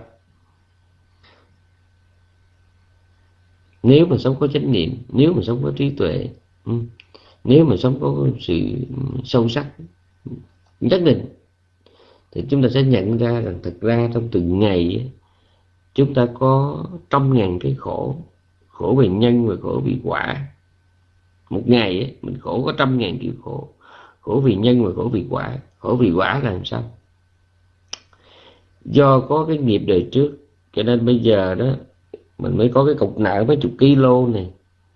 Nó đau chỗ này nó nhức chỗ kia. Đó gọi là khổ vì quả. Do có cái cục này cái cái, cái thân này nó là quả mà. Ai học anh từ đàm thì biết 19 sắc nghiệp nó là quả nha. Cái sự có mặt của sáu căn này là quả nha. Mắt tay mũi lưỡi là quả thì chính vì có cái thân này nè, chính vì có sáu cái căn này nè, cho nên ừ, mình mới có buồn vui, rồi mới có lo lắng và có miếng cơm manh áo, cơm gạo gạo tiền, rồi mà phải lo cho cái chuyện này, phải lo cho cái chuyện kia. Các vị có bao giờ thử nhìn lại mình đi? Mình đang bị nhốt tù ở trong cái tấm thân mấy chục ký này. Chư thiên họ đâu có bị như mình, họ đi đứng thoải mái họ không có e ngại bất cứ một cái khoảng cách nào bất cứ một cái độ cao nào bất cứ một cái, cái chiều độ sâu nào. Còn mình thì sao? Xa quá mình đi không nổi. Cao quá mình leo không tới. Mà hoặc là cao quá nhìn xuống thấp cũng sợ. Khiên vác đồ nặng không nổi. Mà duy dĩ hoài một cái tư thế nó mỏi. Nói chung là mình đang bị nhốt tụ trong cái thân này. Đó gọi là khổ hiệu quả còn khổ vì nhân là làm sao? Là suốt một ngày như vậy toan tính đủ thứ chuyện hết nha rồi chưa kể mỗi lần tâm tham mà xuất hiện là một lần khổ. Muốn mà không được là khổ. Không thích mà phải chấp nhận đó là khổ. Đó là tâm sân nha cứ tham sân mà xuất hiện, mỗi lần xuất hiện là một cái khổ. Mà chỉ có người có trí và có niệm ấy, thì họ mới nhận ra là mình đang sống trong cái khổ mỗi ngày khổ vì nhân, khổ vì quả, khổ vì nhân là khổ vì phiền não còn khổ vì quả là vì mang cái thân ni này nó nặng nề đủ thứ hết. Khó thở, cũng là cái khổ. Ăn không ngon miệng, ăn rồi nó không chịu tiêu, lì ì lập ạch, hả? Rồi nghe nó đau chỗ này, nó nhức chỗ kia, nó mỏi chỗ nọ, nó không có được như ý, hả? khổ vì nhân, khổ vì quả. Rồi thấy tâm mình nó nó cứ bị dán chặt, nó vì não cũng tách rời không được. Có vị, có chánh niệm các vị mới thấy. Những giây phút mà mình sống bằng thiện pháp, nó nhẹ vô cùng những giây phút mà mình hướng đến sự buông bỏ, hướng đến sự giải thoát, hướng đến sự xả ly những người nó nhẹ nhàng, ghê gớm đó mà mỗi lần mình có cái lòng mình lo cho chồng, cho vợ, cho con, cho cái, cho nhà, cho cửa, cho thân quyến cho bè bạn, rồi lo mất tiền, lo nhan sắc, lo tiếng tâm, địa vị, đấu tranh, giành giật ha sâu xé. mỗi lần mình sống trong đó, mình nhận ra mình đang sống trong đó là mệt vô cùng và không có gì thảm cho bằng cái trưa nắng căng trang mình ngồi mình từ đây rồi mình lại mình nhìn lại cái trạm xe bus nó chỉ có 200 mét. Vậy mà mình không có cách nào mình rút ngắn thời gian được. Phải đi phải lết lại đó nha. Thì nội mình nghĩ cái đó là đã hết muốn sinh tử rồi. 200 mét này gặp chư thiên làm cái vèo ra tới rồi còn mình thì không. Mình phải mang cái thân này mình lê từng bước từng bước. Mình những lần kéo đồ nặng đó, xách đồ nặng đó mình đi lên dốc đó, là đủ để sợ lương hồi là đủ để tận cái tái xanh rồi nha trưa nắng chang da và buổi chiều lạnh tuyết nó rơi như vậy. Ờ, mà quãng đường nó có xa. Mình đứng dưới mình nhìn lên đồi, chắc nó tối đa nó khoảng chừng vài trăm mét thôi. Vậy mà ráng lê cái thân này thì cộng thêm chục mười mấy kilo nữa để mà đi. Thì có thấy như vậy đó đó, thì mới thấy quả thực là mình đang bị khổ vì nhân khổ vì quả. Và chính vì vậy đó, người ta mới gọi cái sự có mặt của danh sắc người ta mới gọi cái sự có mặt của phiền não nó là gánh nặng, nó là bọc lưu. Còn mình thì sao? Mình không có chịu thấy cái thân này nó là khổ. Cho nên mình không có bao giờ trong đầu của mình mà nó có những cái chữ này nè, có những cái chữ là bọc lưu nè, rồi vực sâu nè à, rồi không bám víu nè. Mình trong đầu không có được những chữ này. Là tại vì, xin lỗi nha, nói nó nặng cái chữ phật xài chứ mấy chữ của tôi. Người nói mà mình giống như mấy con dồi mà nó sống ở trong đống phân vậy.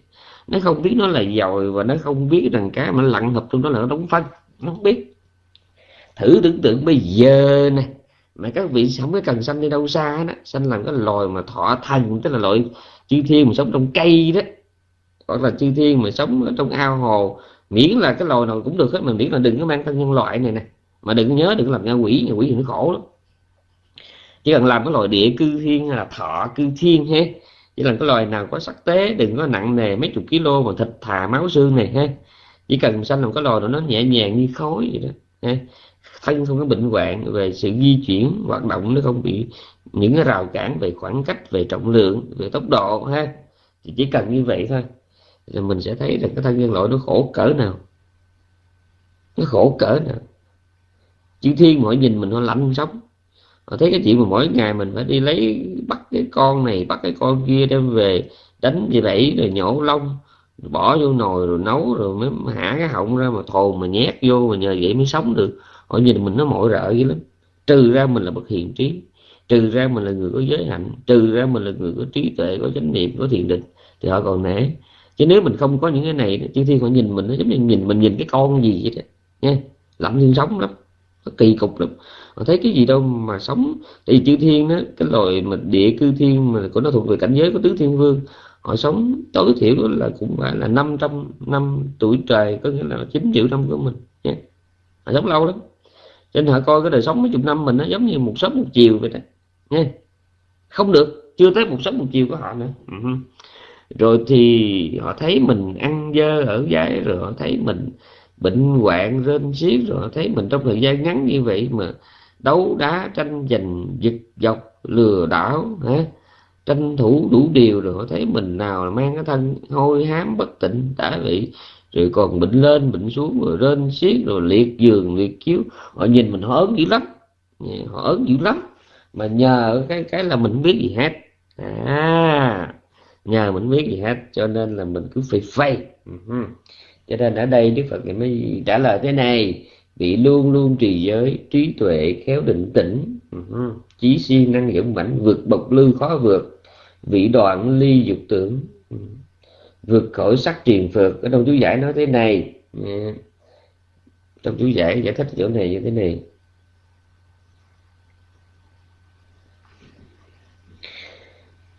Ờ,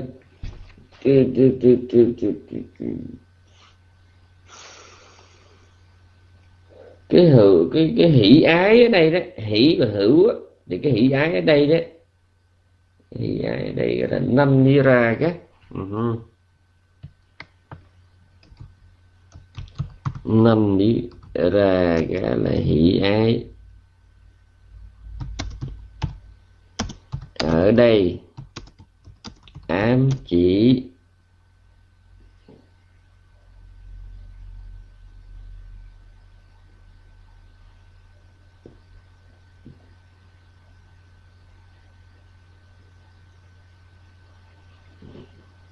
ám chỉ cho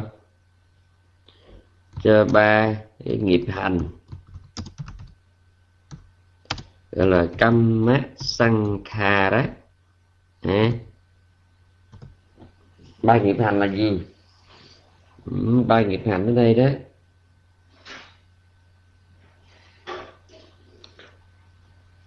Đó là ba hạnh trong duyên khởi đó.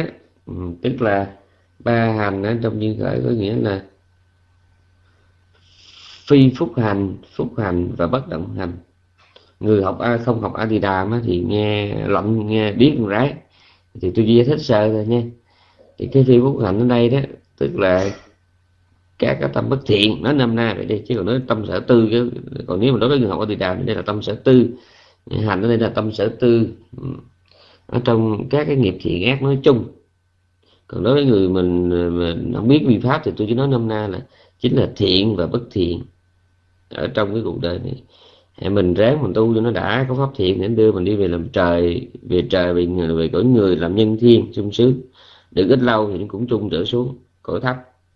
Nên nhớ thế này bốn cái đường đọa nó là cái chỗ thấp nhất ở trong một cái trái cầu.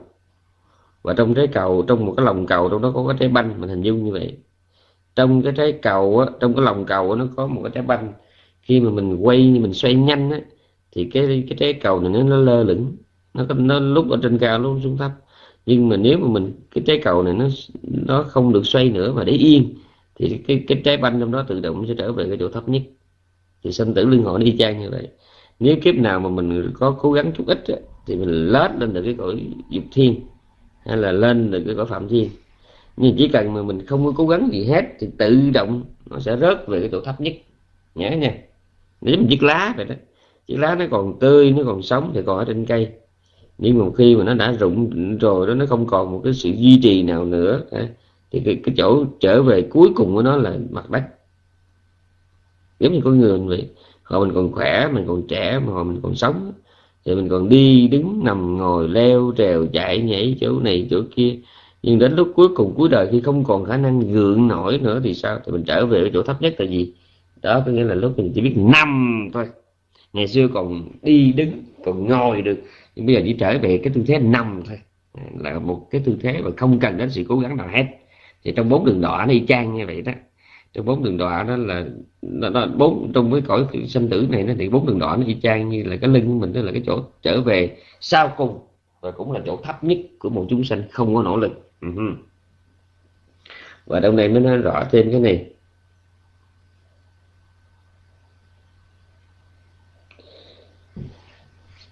dục tưởng nhé vị đoạn ly dục tưởng vượt khỏi sắc truyền phơ ừ. đoạn ly dục tưởng ở đây đó, ở trong chú giải này mới giải thích thế này nhé. dục dục tưởng ở đây thì ám chỉ cho năm cái hạ phần kiết sử còn cái sắc truyền phượng ở đây đó thì ám chỉ cho năm cái thượng phần kiết sử nha à, cái cách nói trong kinh như vậy mà, mà, mà cái cách này tôi đã nói không biết bao nhiêu lần rồi. Tức là đây là một cái cách nói gọn. Đây là một cách nói gọn. Ừ. ví dụ như mình nói nhà cửa vậy đó nó dính liền với nhau, cơm, nước, chợ, búa, dao, kéo mũ nghĩa nó đi cặp cặp vậy đó. Thì đây cũng vậy. Tuy là nói là dục tưởng kamasanya nhưng mà thật ra đó, là nó ám chỉ cho năm cái hạ phần kiết sử là vì sao? Là vì đối với một vị anaham ấy thì vị đó vĩnh viễn không còn dục tưởng nữa mà điều đó cũng có nghĩa rằng thì là vị đó vĩnh viễn không còn năm hạ phần kiết sử nữa. Năm hạ phần kiết sử là sao? Tức là năm thứ phiền não thô. Năm cái thứ phiền não cấp thấp. Có nghĩa là năm cái thứ phiền não mà nó đưa mình đi xuống những ở những cõi thấp á. Ví dụ như từ cái cõi ý, dục giới hay là cái cõi xa đọa thì được gọi là năm cõi thấp.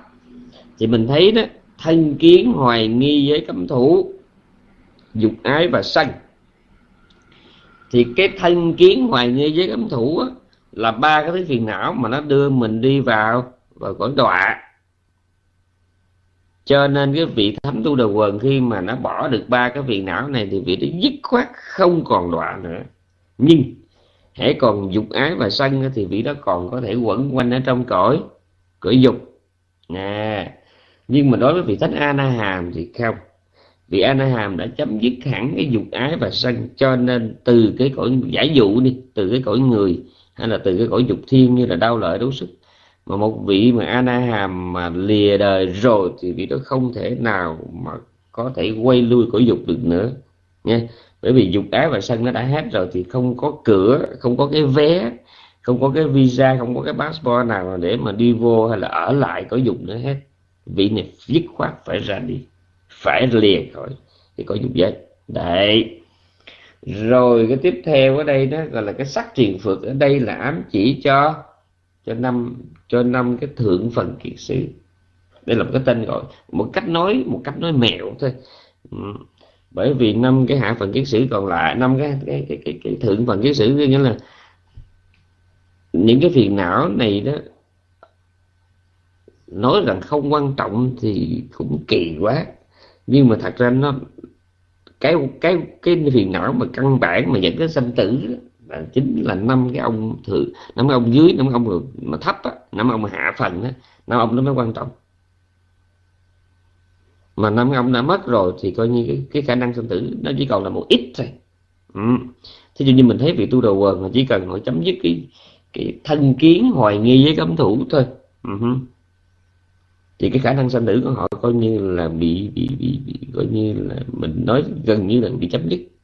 Bởi vì trong cái dòng sinh tử là vô lượng vô số kiếp ha? thì bây giờ vị đó chỉ còn là có cái trớn thôi. Cái trớn tối đa là bảy kiếp ở cõi dục thôi. Rồi sau đó là vĩnh viễn phải ra đi nha. Thì cái cái bảy kiếp này nó không có nhiều. Và nghe trong tăng chi bộ đức phật cũng dạy rằng này các tỳ kheo cái cái khổ hoặc là những cái vấn đề mà vị tu đồ quần phải giải quyết còn phải gánh nó chỉ là bảy viên sỏi. So với những gì mà vị đó đã lìa bỏ đã giải thoát được. À, nó nhiều giống như là cái dãy núi Himalaya. Trong kinh Đức Phật dạy như vậy. Những gì mà mà vị tu đồ quần lìa bỏ được nó nhiều như dãy núi Himalaya. Và cái khổ mà những cái gì mà nó còn chút ít mà dính lại đó, mà vị đó phải giải quyết đó nó chỉ là tối đa là bảy hòn sỏi, bảy cái viên sỏi trước mặt ta bây giờ thôi. Ừ. Như vậy đấy và chính vì vậy cho nên cái quả vị tu đồ quần ấy, nếu mà có đem đổi với họ tất nếu mà có đem đổi cái cái cái ngay vàng của đế thích, của chuyển lưng đến vương, có đổi bao nhiêu, chứ đừng có nói một, hai, mà đổi vô số, đổi cả triệu, cả tỷ lần, cũng không đổi được. Không đổi được bởi vì nếu mà còn là phàm á, thì mình làm đế thích cho bao nhiêu kiếp đi nữa làm chữ lương thánh vương bao nhiêu kiếp đi nữa thì sao? Thì cuối cùng cũng quay về với sự đọa lạc. Nếu mà mình còn là phàm phu thì giá nào phải quay về với sự đọa lạc? Nhưng mà riêng cái vị thánh tu đầu quần thì dứt khoát không bị đọa lạc và chắc chắn sẽ phải niết bàn sẽ niết bàn. Ừ. trong một thời gian rất là gần. Ừ. cho nên ở đây năm cái cái cái cái đây là cái cách nói thôi ha ở đây nó hỷ ái là chỉ chung cho ba ba cái hành. Phúc phi phúc hành phúc hành và và bất động hành. Rồi còn cái dục tưởng ở đây thì ám chỉ cho năm hạ phần kiết sử và và cái sắc truyền phượng ở đây thì ám chỉ cho năm cái thượng phần kiết sử. Chỉ vậy thôi. Này kinh này không có cái gì để mà gọi là, là khó cho bà con. Rồi cho tôi xin tiếp theo. À, quên cũng phải nói thêm chút xíu nữa chứ. Uh-huh tại sao mà mình thấy cái chuyện sanh về phạm thiên nó đáng sợ? Đúng là nãy giờ tôi đã nói chuyện này rồi. Nhưng mà có một số người đi không nói à, họ là họ lại hả mình chưa nói thì họ coi như là không có nói. Nhưng mà thật ra là có những trường hợp mình ta chưa nói mình ta đã nói rồi. Nhé. tại sao mà cái cái chuyện mà mà mà mà, mà, mà sanh về cõi dục thì, thì trong đó nó có các cõi đọa là sợ đã nành rồi. Nhưng mà sanh về các cõi phạm thiên cũng đáng sợ là vì sao? Là vì nó cũng là sự quẩn quanh. Cõi phạm thiên ấy, nó giống y chang như cái nóc nhà của mình lúc đang lúc nó đang cháy vậy đó. Trong cái ngôi nhà đang cháy thì cái chỗ nào mà mình tạm cho là an toàn nhất thì lát nữa sớm muộn gì nó cũng cháy. Nếu mình không bị dập dập lửa không không được cứu hỏa tới kịp hả thì giá nào lát nó cũng phải cháy tới thôi. Nhưng mà tạm thời trước mắt á, thì thấy nó vẻ an toàn nhất nó lâu nhất chỉ vậy. Thì có phạm thiên cũng vậy thấy anh đó nó sống lâu. Sống lâu lắm cho nó sống lâu lắm. Sống tối đa thế nên nó tám mươi bốn ngàn đại kiếp. Và trước mắt là cho nó sống nó, nó an lạc hơn cõi dục thiên. Mà dục thiên thì nó là an lạc hơn cõi nhân loại. Mà cõi ăn nhân loại thì nó an lạc hơn các cái cảnh giới ừ, đọa xứ. Cho nên trong đó phải nói là sung sướng nhất sống lâu nhất chính là cõi phạm thiên. Nhưng mà rồi thì sao? Nó hết tuổi thọ trên đó họ vẫn phải đi xuống. Và cái chuyện đi xuống nó, nó nhiều lắm. Họ chỉ hưởng được một kiếp trung gian một kiếp độn thôi. Nghĩa là từ phạm thiên sanh xuống thì họ không có bị đọa liền. Họ được sanh làm làm dục thiên và sanh làm nhân loại trong một kiếp độn kiếp trung gian đó. Nhưng mà sau cái kiếp đó rồi họ đi đâu thì chỉ có trời biết thôi. Nghe chỉ có trời biết thôi. Ừ. cho nên là, là, là còn quẩn quanh trong sanh tử thì nó rất còn rất là đáng ngại. Và phải nói thiệt bây giờ dầu chúng ta ở đâu đi nữa trên cái mặt đất này một người phật tử bình tĩnh, có trí tuệ, có chánh niệm chút xíu.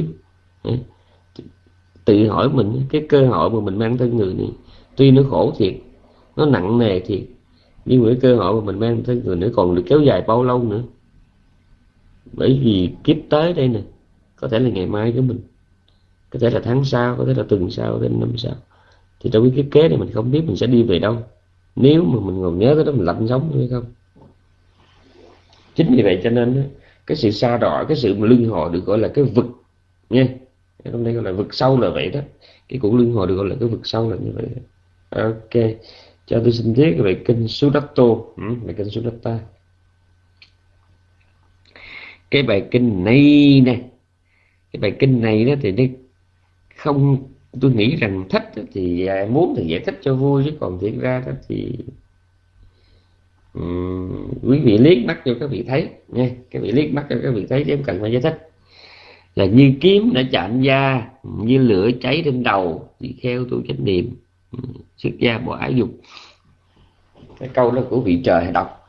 Rồi tiếp theo đức phật này mình ngày xác định là y chang vậy, ngài nói đúng rồi, người nói đúng rồi thay vì vị kia thì nói chung chung, vị kia thì nói chung chung.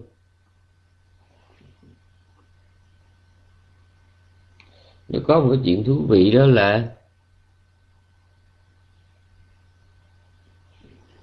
ở trong bản việt mình là kinh chi.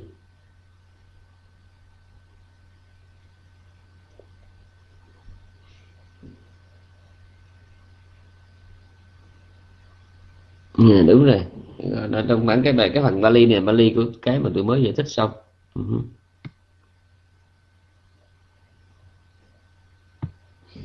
Cái bài này, nếu mà con học kỹ thì trong đây nó có giải thích. Đoạn trừ hỷ ái đây đó, thì hỷ ái này ám chỉ cho ba hành ha thì ở đây khi nói đến dục tưởng thì nói đến năm hạ phần tiết sử còn nói đến sắc sắc tiền phược thì ám chỉ cho năm thử phần tiết sử rồi ở đây cái dục tưởng thì nó tạo ra cái dục hữu rồi cái sắc triển đó, thì nó tạo ra cái sắc hữu. Và sắc hữu ở đây nó bao gồm luôn cả cái vô sắc giới. Đại khái như vậy. Cái phần này tôi đã giải thích rồi. Bây giờ tiếp theo là cái bài kinh Sudatta là trong tiếng bản tiếng. Ở trong bản ở trong bản Việt á, thì kinh là kinh Sudatta nhưng mà trong cái bản Pali là va, số đầu va Sudatta nha. Như vậy thì trong bản tiếng Việt mình nó có một cái điểm sai khác với cái bản Pali ha. Mà cái phần này thì tôi nghĩ không cần giải thích nhiều. Thì bà con liếc vô các bạn con thấy rồi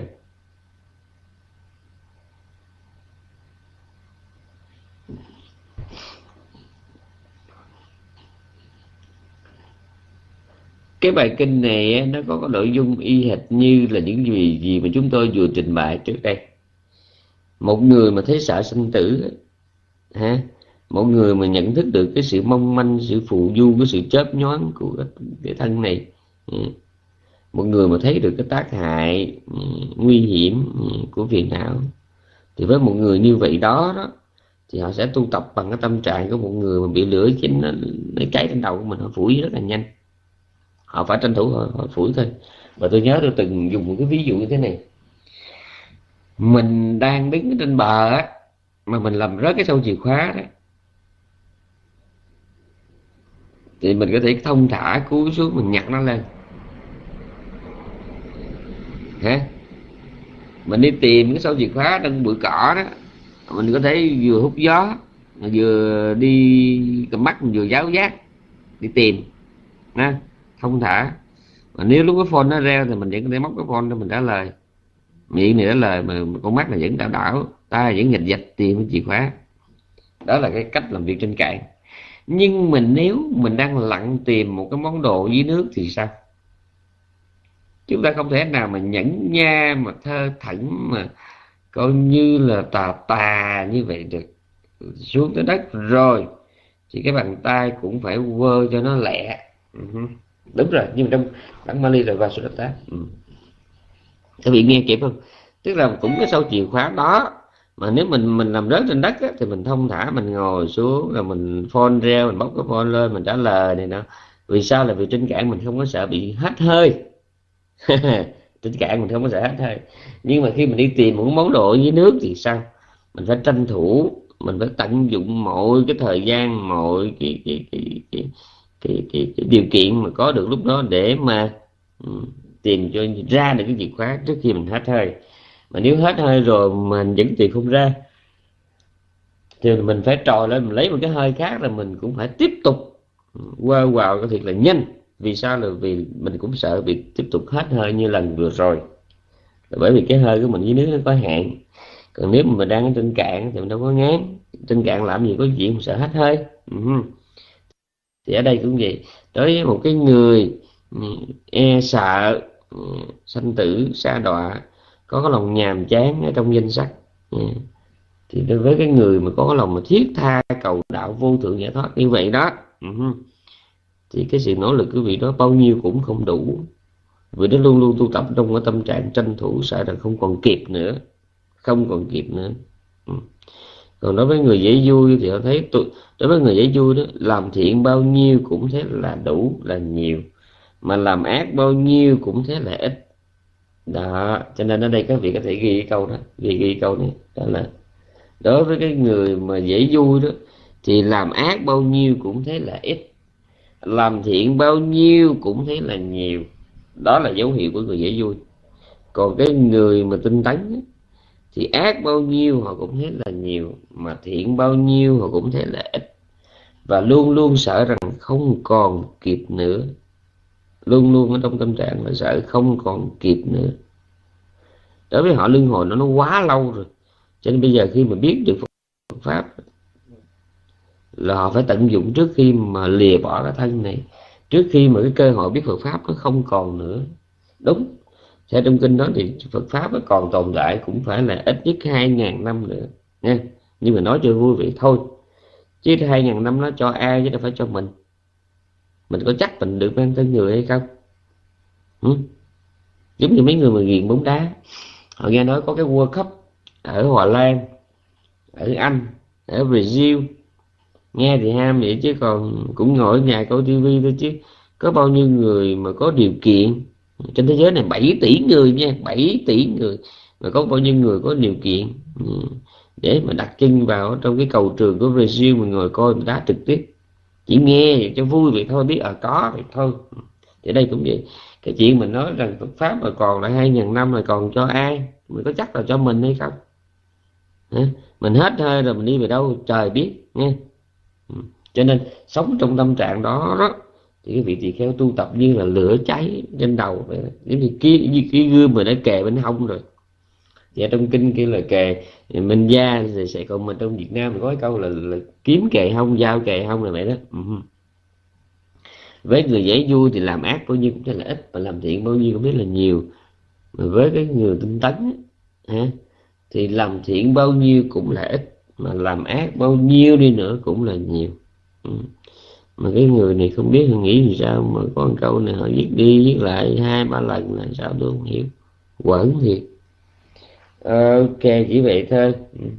Rồi có một chuyện nữa, cái bài, bất cứ bài kinh nào chúng ta cũng có thể nói chuyện với nhau mấy tiếng đồng hồ hết. Trang với bài kinh này. Tôi đã nói rồi, bà con liếc qua các bà con thấy rồi. Ừ, liếc qua thấy rồi. Không cần phải giải thích, nhưng mình muốn khép lại mà vẫn còn thấy tiếc đó là lửa cháy trên đầu ở đây nó còn nhiều cái ý nữa đó là thứ nhất là sợ rằng không còn kịp nữa. Không biết mình sống được bao lâu. Rồi thêm là bất thiện là đã quá nhiều kiếp, bây giờ chỉ có kiếp này mới là tôi có cái duyên tu từ thiền quán thôi. Mà cái kiếp này cũng sắp hết rồi. Nhưng mà chưa có hết đâu, cái này mới ghê. Là ở trong các cái thiền tuệ, nó có cái tuệ gọi là cái tuệ kinh hải đó, cái tuệ bố cái tuệ kinh quý đó, cái tuệ sợ hãi đó, gọi là phai nhà đó.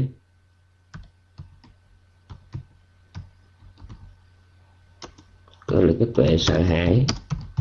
Có nghĩa là lúc đó hành giả đó, thấy được một cái chuyện mà từ nhỏ tới lớn mình chưa từng cảm nghiệm, chưa chưa từng trải qua. Là sao? Hành giả thấy rằng cái danh sắc của mình nó sanh diệt nó quá nhanh đi.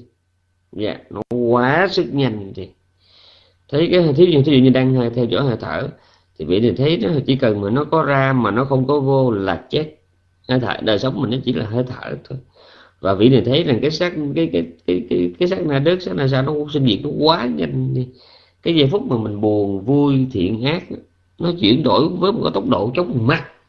Và vị này mới thấy rằng thì ra cái gọi là kiếp người cái gọi là đời sống nó chỉ là một cái sự ghép nối của những cái giây phút hiện hữu cực kỳ chóng vánh ngắn ngủi và chớp nhoáng vì đã thấy rằng cái chết nó xảy ra cho mình trong từng nháy mắt. Dạ. Vì đã thấy rằng không hề có sự khác biệt nào giữa một cái người ừ, đang hấp hối và cái người đang khỏe mạnh thôi. Bởi vì đối với người hấp hối và người khỏe mạnh thì cái danh sách của cả hai nó đều có điểm giống nhau là nó đang sanh diệt chớp choáng. Có mất có mất có mất có mất có mất có rồi mất có rồi mất nó giống như y chang vậy họ thấy rằng giữa họ với người hấp hối nó khác nhau gì hết còn mình á mình không có tu á. Mình thấy rằng mình mình mới có 20 mình phải khác cái cha 40 chứ thằng cha 40 cho phải khác thằng cha 60 mình cha 60 cho phải khác thằng cha 80 chứ mình dễ vui mình thấy nó có khác. Nhưng mà nếu mình tinh tấn á, thì mình thấy rằng một đứa bé đó mà hai tuổi với thanh niên mười hai chục tuổi ba chục tuổi mỗi người trung niên bốn chục tuổi một ông cụ sáu chục tám chục tuổi đi chang nhau. Các vị học anh thì làm chắc có biết cái này. Đi chang chỗ nào? Có nghĩa là cái tốc độ sanh diệt sanh diệt của danh sắc nó tương đương nhau. Nó tương đương nhau. Có là mất, có là mất, có là mất, có là mất. Nó liên tục như vậy. Nó liên tục như vậy. Cho nên, họ mới luôn luôn tu tập trong cái cảm giác là lửa nó đang cháy trên đầu của họ là vậy đó. Ừ. Rồi tiếp theo là cái bài kinh bài kinh Supram á. Ừ, kinh Supram á.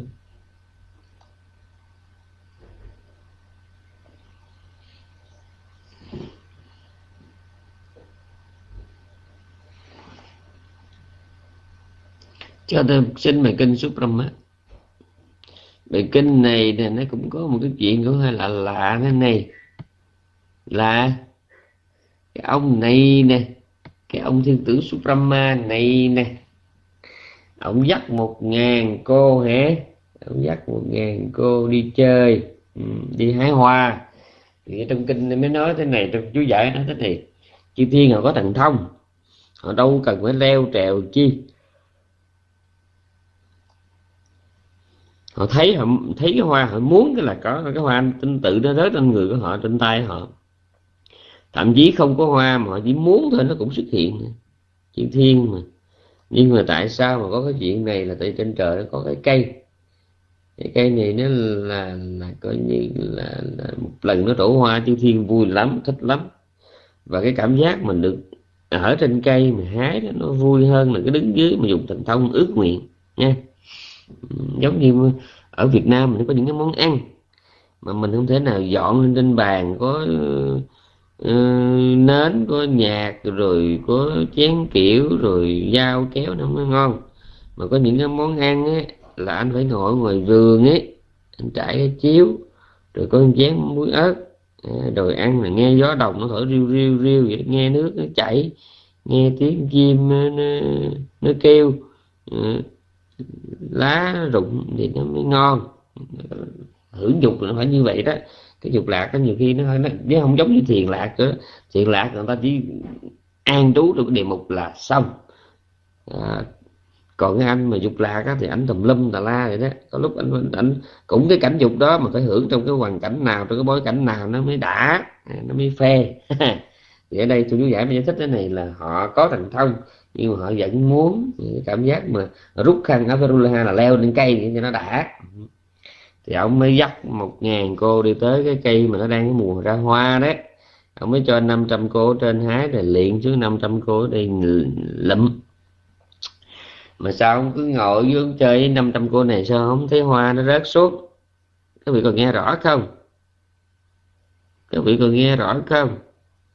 Đâu, sao?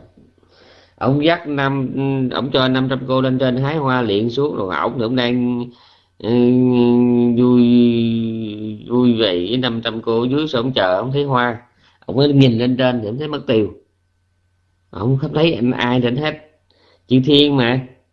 Chư thiên thì họ chết họ không có để lại xác như mình. Họ chỉ giống như một làn khói nó tan ra vậy đó. Uh-huh. thì ông mới liếc là ông thấy 500 cô này mất ông mới suy nghĩ họ đi đâu hà? Thì ngay lúc đó ông biết liền là 500 cô đó cái tuổi thọ vừa mãn. Là hồi nãy mấy cổ vừa leo lên cây là tuổi thọ nó mãn luôn. Nó mãn là nó hết.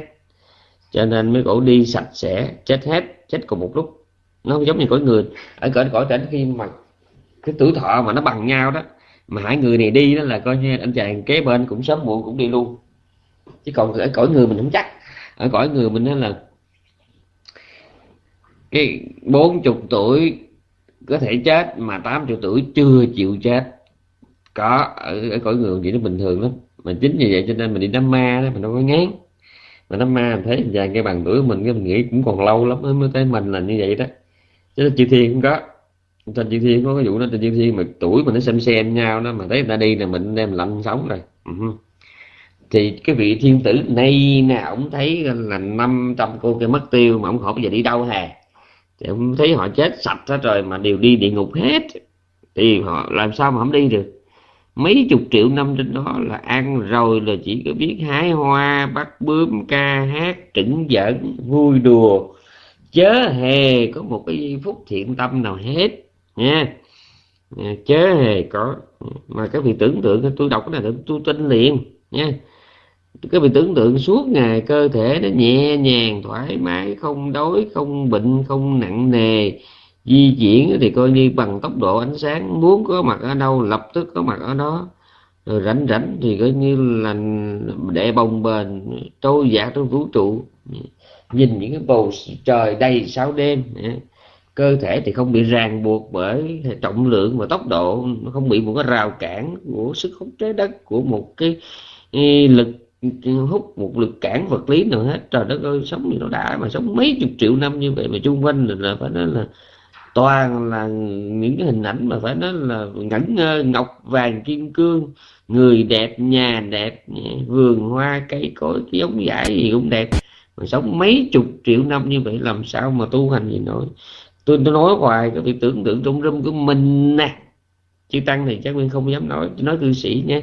Trong râm mình nè một tháng mà các vị kiếm được 10.000 đô la thì tôi đố các vị thì các vị có có vô đây nghe giảng không? Không.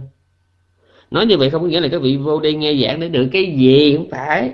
Nhưng mà ít ra đó các vị còn quở còn tin rằng cái rằng mà nghe thử một tháng mà các vị kiếm được 10 ngàn đô la có nghĩa là bây giờ các vị đang là tắt bật ngược xuôi nha đó là thứ nhất. Thứ hai có 10.000 đô la đó thì coi như đi du lịch cho cho nó đã để bắt cái chứng gì mà ngồi mà nghe mấy cái lãi nhãi lãm nhảm này. Yeah. Mà mai có 10.000 đô la một tháng thôi. Mà 10.000 đô la nó đâu phải là một con số kinh hoàng nhé bởi vì 10.000 đô la một tháng có nghĩa là 100 quý vị có một năm có 120 thôi. Mà so ra trên thế giới này là thế giới Âu Mỹ đó, mà cái em mà một năm mà kiếm được 120 thì em nó cũng chưa có phải là ghi gớm nha, chưa có ghi gớm tháng này có 10 ngàn đúng rồi tháng 10 ngàn. Thì năm có 120 à. à. Năm có 120 mà 120 thì so ra thì trong cái, cái thế giới này trong thế giới người giàu 120 chẳng là cái gì hết. Đó. bạn tháng mà có 10 ngàn đó là coi như là tôi hứa với các vị đó là phải biến mất khỏi quỹ đạo Phật pháp. Hứa luôn hứa luôn. Mà bản thân tôi đó tôi nói thiệt tôi bây giờ mà một tháng mà tôi có 5 ngàn là cái, cái, cái lớp này coi như dẹp tôi đi đâu? À, tôi đi về miến điện. Miến điện nó có nhiều cái chỗ để mà tôi đi lắm. Tôi không phải đi tu thiền đâu tôi đi tôi dò chỗ. Tôi vào cái chỗ nào nó đã nhất mà mốt mốt về già tôi sống. Việt Nam miếng điện nó có cái sướng thế này. Muốn gặp thiền sư là gặp liền muốn gặp pháp sư tam tạng là gặp liền muốn về thăm Việt Nam là về được liền. Bệnh hoạn là làm một cái vé bay từ dân ngôn hoặc là Mandalay về Singapore trong vòng có 3 giây ba nốt nhạc là đã tới Singapore rồi chỉ còn nếu mà người đó có quốc tịch Mỹ quốc tịch châu Âu thì chỉ có thêm 6 nốt nhạc là về tới châu Âu về tới Mỹ thôi. Đâu có ngán nha. À, mà trong khi đó là về đời sống tinh thần ấy thì ngay cái miếng điện. Mà nói về cái điều kiện sinh hoạt thì miếng điện bây giờ quý vị mà có tiền rồi nó bị sống như ông tiên vậy đó. nhân công nó rẻ như rác thức ăn nhiệt đới trái cây tuyệt vời điều kiện khí hậu thì rất là gần gũi với mình ai mà sẽ nóng thì về chết vô. Cách dân gôn chỉ 180 cây số. Còn không nó đi về Memio cách ờ, Mandalay chỉ có 67 cây số. Nó mát như Đà Lạt nó đẹp như Sapa thơ mộng như Bà Nà. À, chỉ cần có tiền thôi. Tháng 5 ngàn là đời nào tôi ngồi tôi giảng thế này. Tôi về miếng điện tôi sống sướng rồi. Còn bây giờ tôi đang ở bên đây mấy ngày nay này sửa nóc mưa nó dột. Các vị cứ tưởng tượng tôi đã rời Việt Nam 15 năm rồi mà cách đây mới có 4 ngày. 4 ngày các vị nhìn cái cảnh, cái cách đây bốn ngày các vị nhìn tôi các vị không có tưởng tượng được.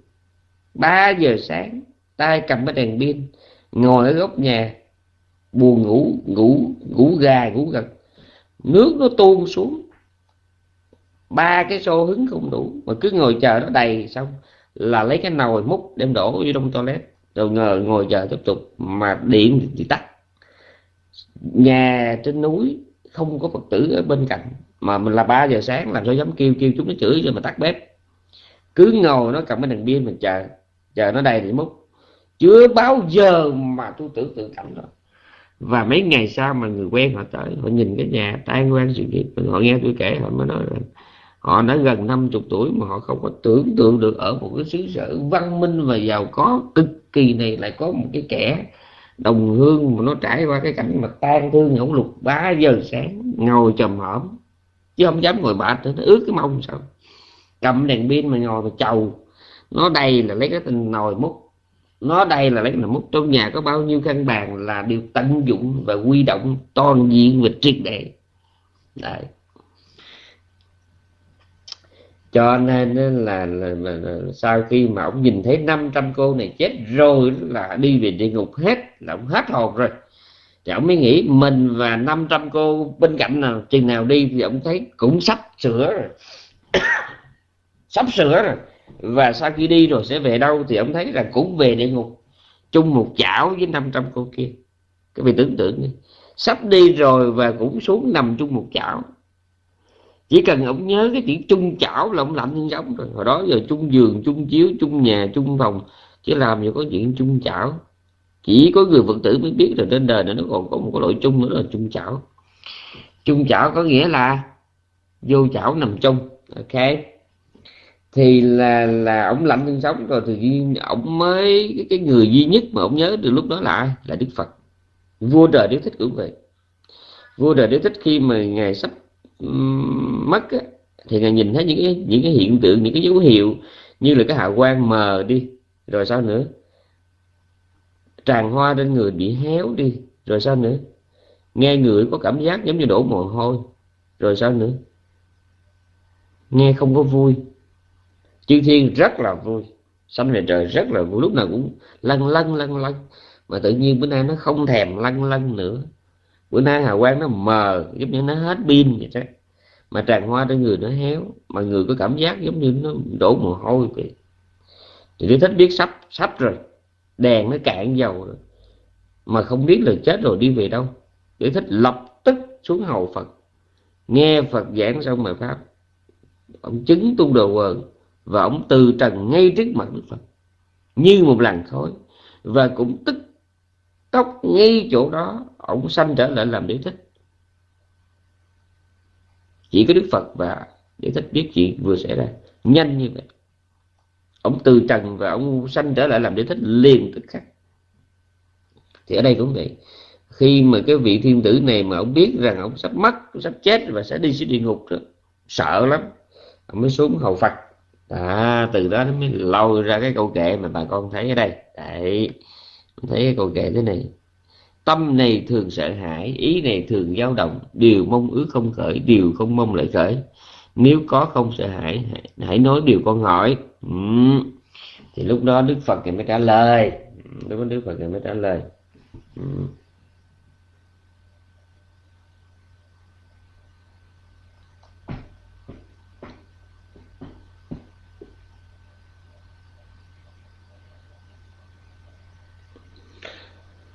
Hmm. Hmm. Hmm.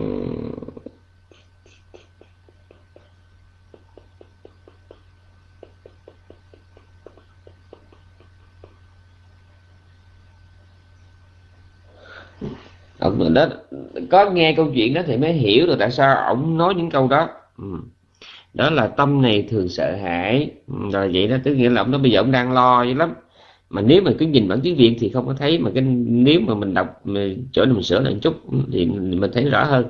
Là ông nói thế này ông nói bây, bây giờ con sợ quá.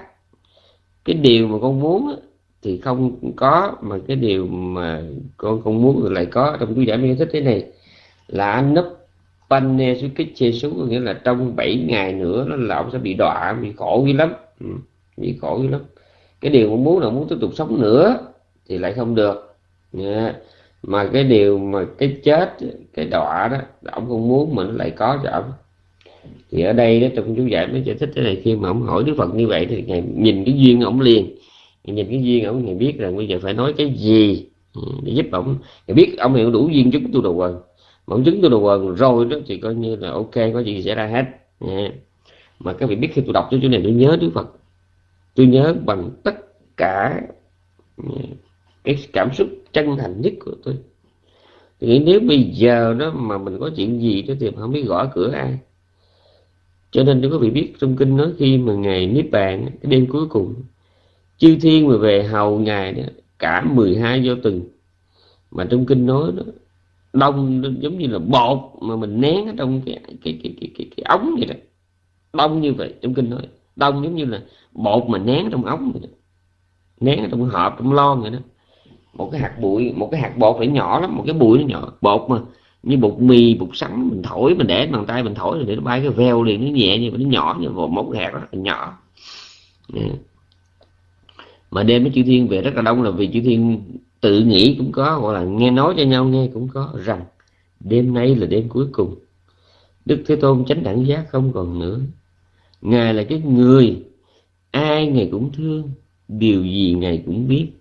Đức lành nào ngài cũng có. Ấy, vậy mà đêm nay là đêm cuối cùng con người đó sẽ ra đi và không bao giờ trở về cho mình thấy nữa.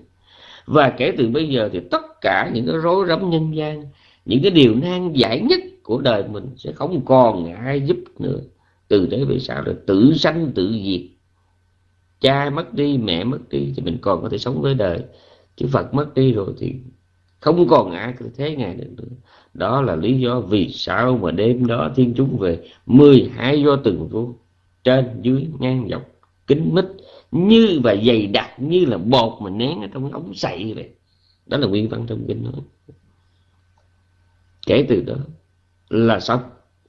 Phật đi rồi là xong. Mà ngày còn mình không thấy quý nha giống như hôm nay mà có chánh pháp mình coi thường. Chứ thử thời một lúc nào đó mình sanh ra đời, toàn là đạo cà chớn, không mình nghĩ sao toàn là đạo hồi, đạo ông tư và tám, nước lạnh, nước sôi, đạo chìm, đạo nổi, đạo ớt, đạo cà, đạo khai môn, đạo khai y lan gì đó, không có chánh pháp. Rồi bùa phép phụ chú, tầm bậy, tầm bạ, ông tà, ông táo làm gì có cái, cái giáo lý mà tam tướng rồi nghiệp báo duyên khởi cho mình học. Mù mù mịt mịt. Không biết mình ở đâu tới sẽ về đâu và phải làm gì không biết. Chỉ biết là nhìn những cái đám tang đi ngang trước nhà mà lạnh xương sống biết rồi mai này cũng tới phiên mình. Mà thật ra biết từ đâu mình tới đây rồi mình làm cái gì trong cuộc đời vô nghĩa này. Hôm nay ăn là đi làm làm rồi ăn hết trời. Làm rồi ăn ăn là đi làm đi làm là về sống. Sống để đi làm cài như con trâu đến một ngày không làm được nữa, may mắn còn được chút tiền. Hưởng bằng tiền hư hoặc là tiền bảo hiểm. Còn đỡ, còn những cái xứ sở mà trời ơi, đất hỏi mua bảo hiểm xong coi như là cúng cô hồn luôn. Cha Việt Nam mà bảo hiểm y tế tôi cũng chẳng biết là xài được hay không. Đồng tiền mất giá liên tục. Tháng trước một triệu, tháng sau một triệu, mua không được món đồ của tháng trước. Một xứ sở mạnh bắp bên đủ tứ bề như vậy. Thân thể, bệnh hoạn, thức ăn thì nguy hiểm. Pháp luật rồi kinh tế, rồi điều đạo đức xã hội, mọi thứ bấp bênh vô định. Và đối với một người học Phật, một người tu Phật, thì cái sự bấp bênh đó nó càng được thấy rõ qua mọi nơi chốn và thời điểm. Uh-huh. cho nên cũng sợ nên hỏi Đức Phật. Thì Đức Phật thì quan sát này, thấy ngài mới nói là buông hết đi.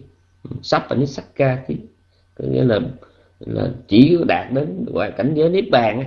Nghĩa là lìa bỏ tất cả đó, bằng cách là chứng chứng ngộ niết bàn. Uh-huh. Nanyatra Pocha Tapasa ừ, có nghĩa là sự tu tập các giác chi.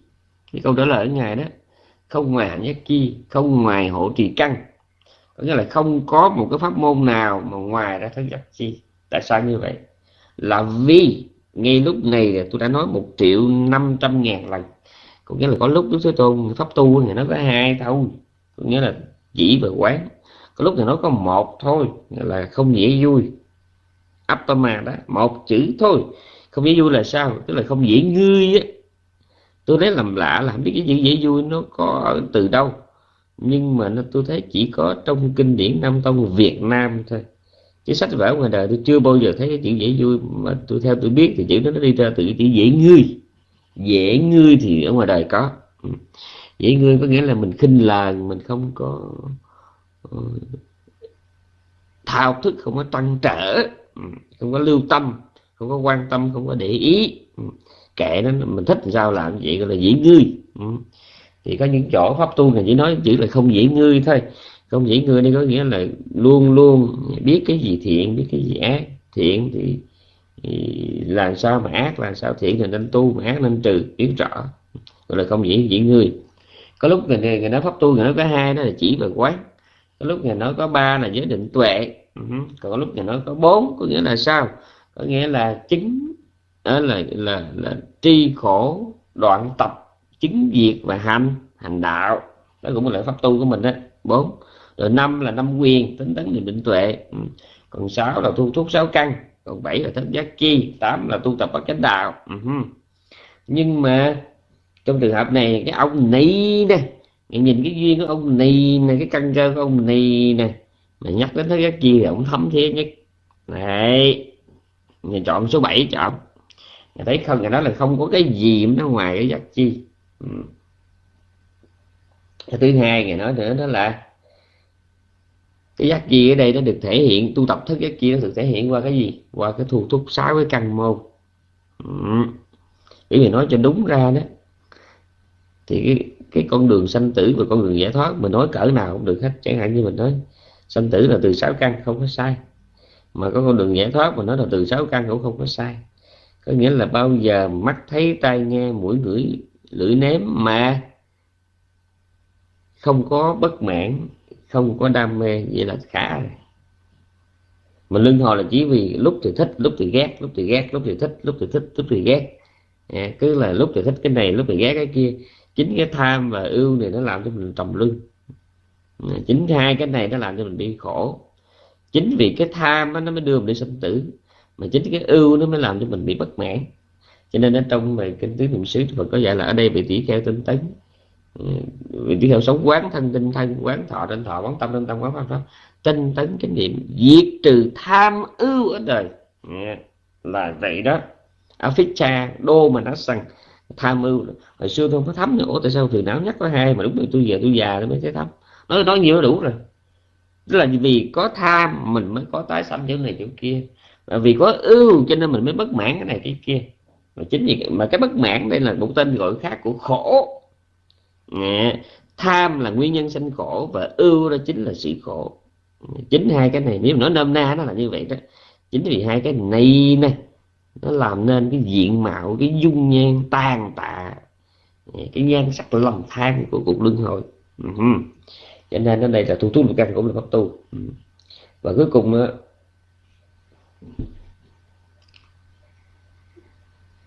cái đấy không có cái hạnh tu nào mà nó ngoài được năm giác chi, không có hạnh tu nào mà nó ngoài được cái sự hỗ trì các căn, và không có một cái điểm tựa nào cho chúng sinh ngoại trừ ra cái sự lìa bỏ tất cả. Ngay chỗ này phải nói, cái câu này là sắp sắp là nó sắc ra cái câu này nè, theo tôi đó.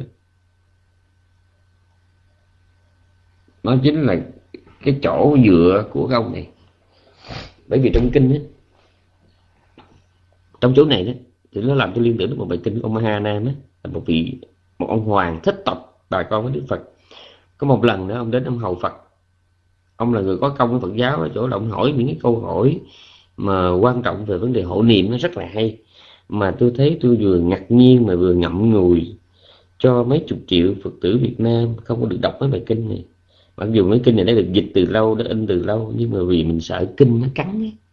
người Việt Nam mình có cái những lỗi sợ lạ lắm sợ sách cắn cho nên không dám coi kinh sợ kinh cắn.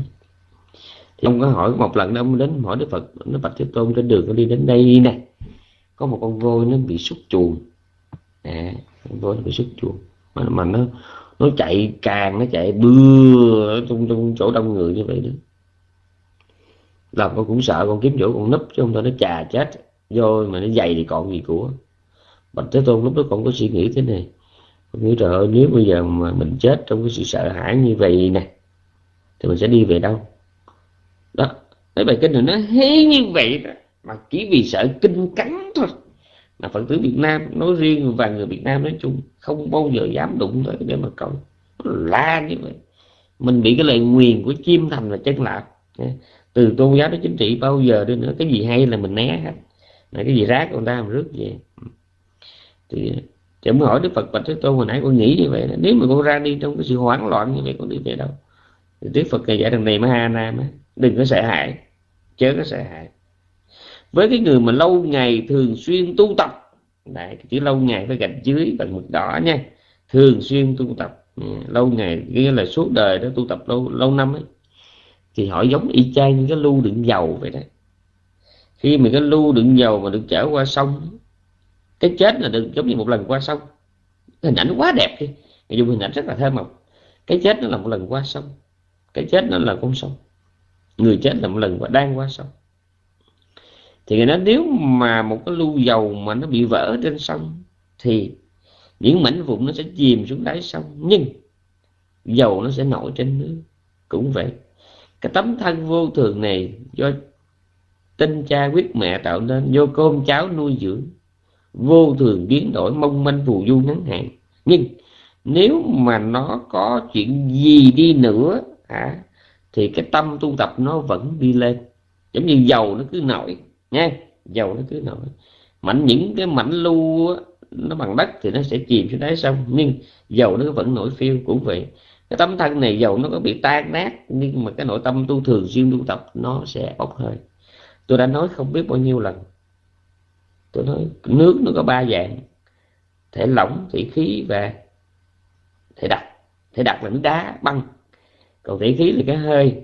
Còn thể lỏng là nước trong cái dạng mà mình xài đó, mình rửa mặt, mình uống thì hãy nước mà ở trong cái thể lỏng, nó luôn luôn có khuynh hướng tìm chỗ thấp, nó chảy xuống tìm về có đúng không? Có đúng vậy không? Nước ở thể lỏng luôn luôn tìm chỗ thấp để tìm về để đổ xuống. Mà nước ở thể hơi để thể khí luôn luôn nó bốc lên cao. Đấy cũng vậy. Có những người họ sống với tâm bất thiện nhiều quá. Cái tâm của họ nó giống y hệt như nước mà ở có thể thể lỏng vậy đó. Chết rồi nó kiếm cái chỗ nào thấp nó thấp nhất nó chung xuống. Còn cái người mà thường xuyên tu tập á, thì nó giống như là nước mà thủy khí như vậy luôn luôn nó tìm dịp nó bốc lên trên bốc hơi. Mình đẩy mình chen mình ép mình bích nó cỡ nào đó nữa nó cũng phải nó xì ra nó xì lên nó xì lên trên nó phải xì lên trên nó phải hướng về trên thôi nha. Còn cái anh mà không cái anh mà nước loại cái anh mà ở dạng nước mà ở dạng lỏng á, thì nó cái kiếm cái chỗ nào thấp là nó chung xuống. Đấy sập dơ không cần biết. Đấy thì ở đây cái người mà có tu tập đó, thì cái đức phật dùng hình ảnh là giống như nước giống như dầu đó. cái thân này thí dụ như nói thì mình bây giờ mà máy bay nó có bị nổ bị rớt giữa trời xe nó mình bị e bị bị bị bị bị, bị máy bay mà bị máy bay nổ hoặc là bị bị xe xe xe đó nó tông hay là bị trúng đạn trúng bom gì đi nữa. Thì những cái chết mà mình cho là kinh hoàng là bất đắc kỳ tử là không kịp cờ trở tay. Nhưng mà thật ra đó là cái thiện nghiệp nó vẫn đưa mình đi cái ác nghiệp nó vẫn kịp để đưa mình đi. Chứ mình đừng cứ sợ rằng rồi lúc đó là tôi niệm không kịp. Đúng, lúc đó niệm không kịp. Thì lúc đó chỉ còn trông đợi vào vào các cái thứ nghiệp. Một là bình thường, lúc mình đời sống bình thường mình có tạo trọng nghiệp thiện hay không? Trọng nghiệp thiện nghĩa là những cái thiện nghiệp mình đáng kể, những cái thiện nghiệp mà quan trọng đó, những cái thiện nghiệp mà có ấn tượng sâu sắc trong lòng của mình ấy.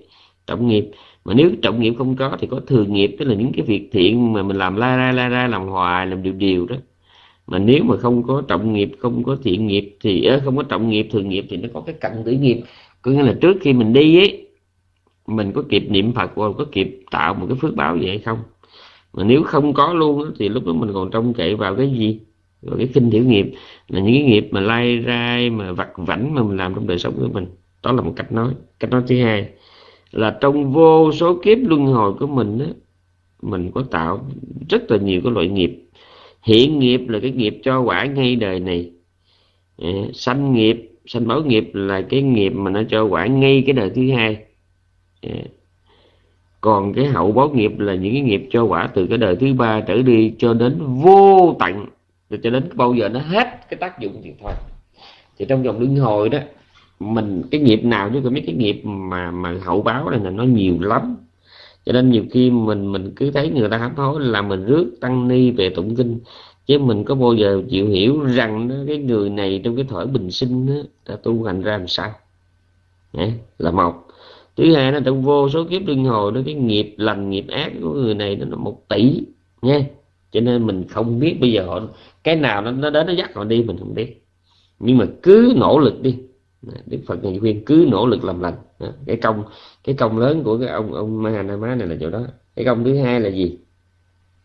Là có một lần nó cũng đến hỏi Đức Phật, Bạch Thế Tôn, trong trường hợp một người thân của con mà sắp ra đi thì con phải có cái thể làm được gì cho họ? Nói thì mê tính dị đoan của mình là hộ niệm thì con phải hộ niệm ra làm sao? Đấy. để Phật dạy thế này niệm ma nam á khi mà có một người thân, các vị còn còn nghe không? Sao sao cái bài kinh nãy đó là tại vì tôi lỡ nhắc tới Mahanama thì tôi nhắc một hơi. Mấy bài. Thật ra cái bài này bài mà tôi đang à, sắp nói đây nè cái bài này nó mới nhầm vô cái cái cái, cái bài kinh mà mà, mà Suprama này nè. À, thì Đức Phật ông hỏi gì chứ Bạch Thế Tôn con phải hộ niệm sao cho cái người sắp đi? Thì Đức Phật ngày dạy thế này hãy nói với họ thế này hãy thanh thản ra đi vì việc nhà đã có chúng tôi lo. Ha và hãy tác ý đến cõi của tứ thiên vương. Trên đó họ sống, an lạc của mình nhiều lắm. Lìa bỏ thân người, giống như bỏ cái chén bằng đất để lấy cái chén bằng vàng. Và sau khi đã tác ý đến cõi tứ thiên vương hãy tác ý đến cõi đau lợi nè rồi cõi đau lợi nó còn hơn cõi tứ thiên vương biết bao nhiêu lần về mọi mặt. Và mình nhắc ví dụ như đó là ông bố của mình đi. Thưa bố bố hãy nghĩ đến cõi tứ thiên vương. Rồi xong đó, bố hãy nghĩ đến cõi đau lợi. Bố hãy nghĩ đến cái cõi dạ ma đấu sức. Bố hãy nghĩ đến cõi hoa lạc thiên. Bố hãy nghĩ đến cõi tha hóa tự tại. Đúng rồi đó đúng. Cho đó là sống tới 9 tỷ năm rồi đúng. Nhưng mà chưa đâu bố bố hãy nghĩ đến cõi phạm thiên ở đó không còn tạm thời không còn là, là, là, là, là dục ái và sanh. Tạm thời thôi nha. Đó, đó. nhưng mà bố hãy nghĩ thêm đó chứ. Cái sự chấm dứt hoàn toàn mọi cái tái sanh nó mới là đỉnh thì từng bước từng bước như vậy. Dĩ nhiên đây là nguyên văn bài kinh, mà trong thực tế đó, mà mình áp dụng đúng trăm phần trăm bài kinh này thì người thân mình chắc chắn quá, bởi vì có người Việt Nam mà nghe nói là hệ tác ý đến cõi này cõi kia chắc không có rồi, mình dốt đặt gắn cuốc mà. Kinh Phật chắc chưa đầy cái lá me mà làm sao mà hiểu cái này. Nhưng mà cái ý bài kinh này là gì? Ý bài kinh này Đức Phật dạy rằng, hãy khuyên người thân coi nhẹ cái cõi người tác ý đến cái cảnh giới cao hơn và hãy tâm niệm rằng những cái công đức nào cái phước lành nào những đức tánh nào mà của chư thiên có thì mình cũng có. Đó là cách niệm thiên á. Niệm thiên là niệm như vậy. Chứ không phải là niệm thiên là niệm uh, ngọc hoàng thượng đế thái thượng lão quân diêu trì dương mẫu thì lâm sanh xương nương không phải cái đó không phải. Mà mình cứ là là niệm chư thiên là niệm như vậy. Tức là những cái đức tánh nào những niệm pháp nào của chư thiên có thì tôi cũng có. Rồi bắt đầu mình mới nghĩ thân người đó, nó nặng nề, nó ngắn ngủi nghĩ lên chút nữa, từ từ. Và cuối cùng rồi thì giàu sanh về cõi nào đi nữa vẫn không bằng cái sự lìa bỏ danh sắc tôi đã nói một ngàn lần rằng tôi không muốn chết trong cái sự sợ hãi hay tiếc nuối, mà tôi muốn chết trong cái sự nhàm chán. Đúng. Tôi không ngờ là cái suy nghĩ đó là rất là giống cái bài kinh này. Rất là giống tức là mình tu tập sao? Nếu mình thành thánh là số một rồi. Thành thánh thì nói gì nữa? Nhưng mình nếu mà không thành thánh thì ráng làm sao? Mà nếu mình là ông sư mình thiệt là nhiều chùa miếu đệ tử ha? Hoặc là ngoài đời mình thiệt là nhiều tài sản thì làm sao mà khi mình sắp mất ấy, mình không còn thấy tiếc nuối? Những cái mình có. Không có cảm thấy sợ hãi với cái đoạn đường trước mặt. Mà chứ còn nếu mà mình ra đi mà bằng cái sự tiếc nuối với cái đã có đang có và sợ hãi với cái sẽ có đó, thì khó lắm. Đối với cái quá khứ thì mình tiếc nuối. Còn đối với cái chuyện sẽ xảy đến thì mình sợ hãi không có mà cái quan trọng nhất là ra đi bằng cái sự nhàm chán. Có nghĩa là thấy nó bây giờ nó dơ bẩn quá nó đau nhức quá nó nặng nề quá. Bây giờ làm sao mà lìa bỏ cái sự lìa bỏ nó chỉ là cái tốt thôi. Và với cái sự tu tập của mình với công đức của mình thì cái chỗ đến của mình không có tệ đâu. Ra đi bằng tâm trạng nó nó dễ đi hơn. Chứ còn mà mà mà đi bằng cái sự tiếc nuối, bằng cái sự sợ hãi thì trước sau cũng phải đi thôi. Nhưng mà đi vậy thì nó dĩ nhiên nó không có vui vẻ gì rồi. Dạ, nó không vui vẻ gì đâu. Ừ Cho nên ở đây ngài nói xài cái chữ sắp và nước ra là sự lìa bỏ tất cả. Đó, bài kinh này là chỗ đó. Có nghĩa là hộ niệm mà hộ như vậy đó, cứ nhắc chuyện nhà đã có chúng tôi. Nè, ông lo cũng được gì đâu. Nhưng ông hãy nhớ lìa bỏ thân người nó giống như là lìa bỏ cái chén bằng đất vậy đó không có gì tiếc. Và ngày ông nhớ là ngày xưa ông đến cuộc đời này tay trắng mà bây giờ ông ra đi cũng trắng tay không có gì phải tiếc. Mua đã đời là buôn sự của chung. Ông từng làm chủ những món đồ từ tay người khác thì bây giờ đúng tới phiên ông đi ông để lại cho người ta chứ. Ông tệ hoàng công ông dắt ông vua nước tề đời đời đời, đời xuân thu ông dắt một đám cẩn thận lên trên núi chơi thì ông mới nhìn giang sơn cẩm tú ông thấy thích quá. Ông phe phẩy cái quạt ngồi có tự nhiên bận khóc thì cẩn thận hết hồn hỏi tôi bệ hạ bệ hạ mắc cái gì luôn có hạ bị cái gì mà có chuyện gì mình phải làm cho ờ, là, là bệ hạ phải khổ tâm đến mức phải khóc. Ông nói các canh ông thấy sao trời đất ơi giang sơn nó cẩm tú thế này nó đẹp đẹp núi non rồi nó xinh đẹp thế này thơ mộng nó trữ tình thế này mà nay mai gì trẫm không còn sống để mà trẫm nghe trẫm hưởng nữa mà trẫm phải ra đi mà thiệt. Tôi đã từng có cảm giác đó. Tôi từng có những lúc tôi đi trên đất thụy sĩ mà tôi, tôi ngậm ngùi tôi nói trời đất ơi cái xứ sở như thế này nè. Mà nếu mà mình lưu còn lưu tới thường xuyên được bao nhiêu năm nữa? Rồi sẽ có một ngày mình ra đi. Mảnh đất dễ thương này nè sẽ còn có lúc nó như thế nào mình không còn biết nữa và bây giờ cái dân nhập cư nó vô đây nó biết là bao nhiêu nó chỉ vô nó, nó, nó, nó phá thôi làm không còn. Thì lúc bây giờ tôi ngồi tôi nghĩ đó tôi cũng tiếc.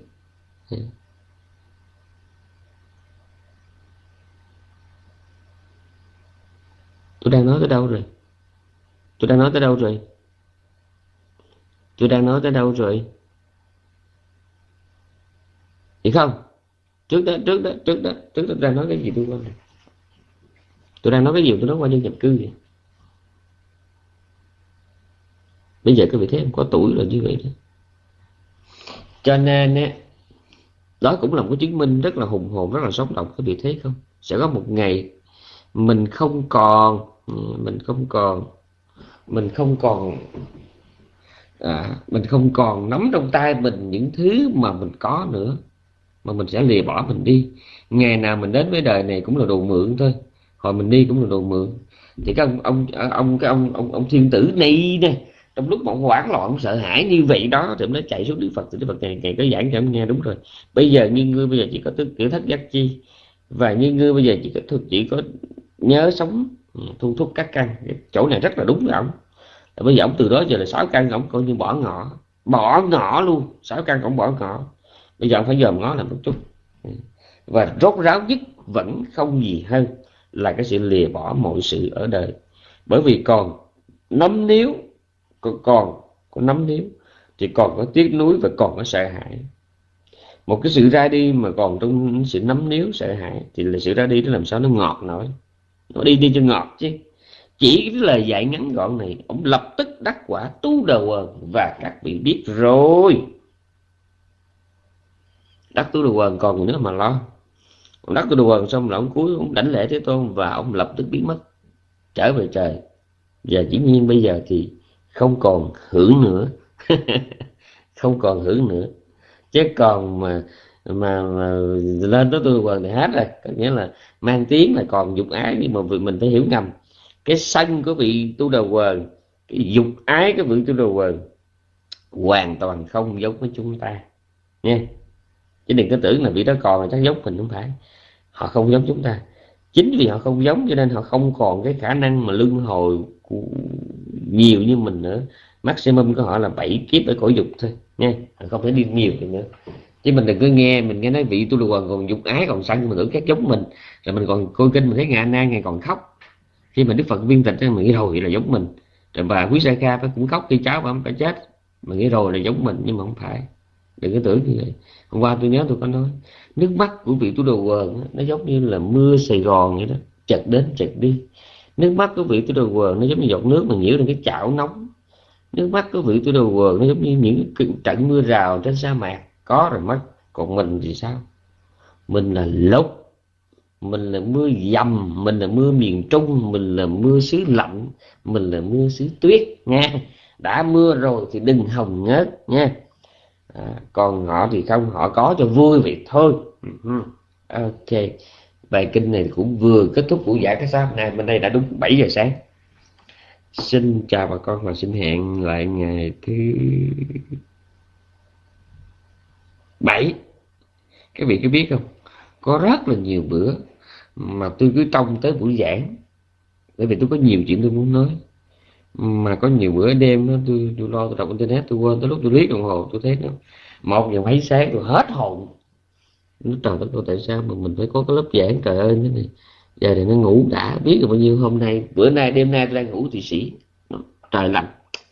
Nó đã không có tưởng tượng được mình sáng mà thức dậy. Nhưng mà nghĩ đó cũng là cái hy sinh. À nó có cái chuyện này. Tôi muốn uh, tôi đang viết một cái thông báo mà tôi chưa có post trên Facebook nếu bà con còn nhín lại 3 phút, ba nốt nhạc tôi sẽ thưa. Đó là trước năm 75 Việt Nam có Viện Đại học Vận hạnh và Thượng tọa Tuệ Sĩ đã là người chủ trương một cái tờ chuyên sang hay là đặc sang, cái nào cũng đúng. Mà tôi muốn gọi là chuyên sang Phật học thì đúng hơn. Cái tờ đó gọi là đặc sang tư tưởng, gồm những bài viết rất là giá trị, rất là tâm huyết rất là trách nhiệm của những người thật sự là có chân tài, chân tâm, chân tình. Này và theo cái chỗ tôi được biết, thì xưa nay trong lịch sử văn học, văn hóa Việt Nam, cận đại và cả hiện đại, thì theo cái nhận xét của tôi, thì không có nhiều lắm, không có tới một bàn tay những cái tờ báo, những cái tờ chuyên gia mà có giá trị như vậy. Ngày xưa ta có cái tờ Nam Phong tôi cho là giá trị Nam Phong của ông Phẩm Quỳnh ấy.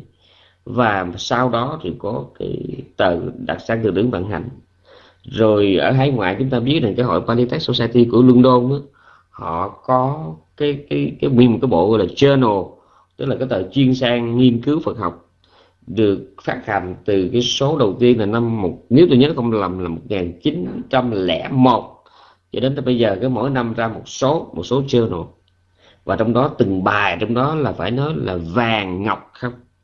Vàng và ngọc.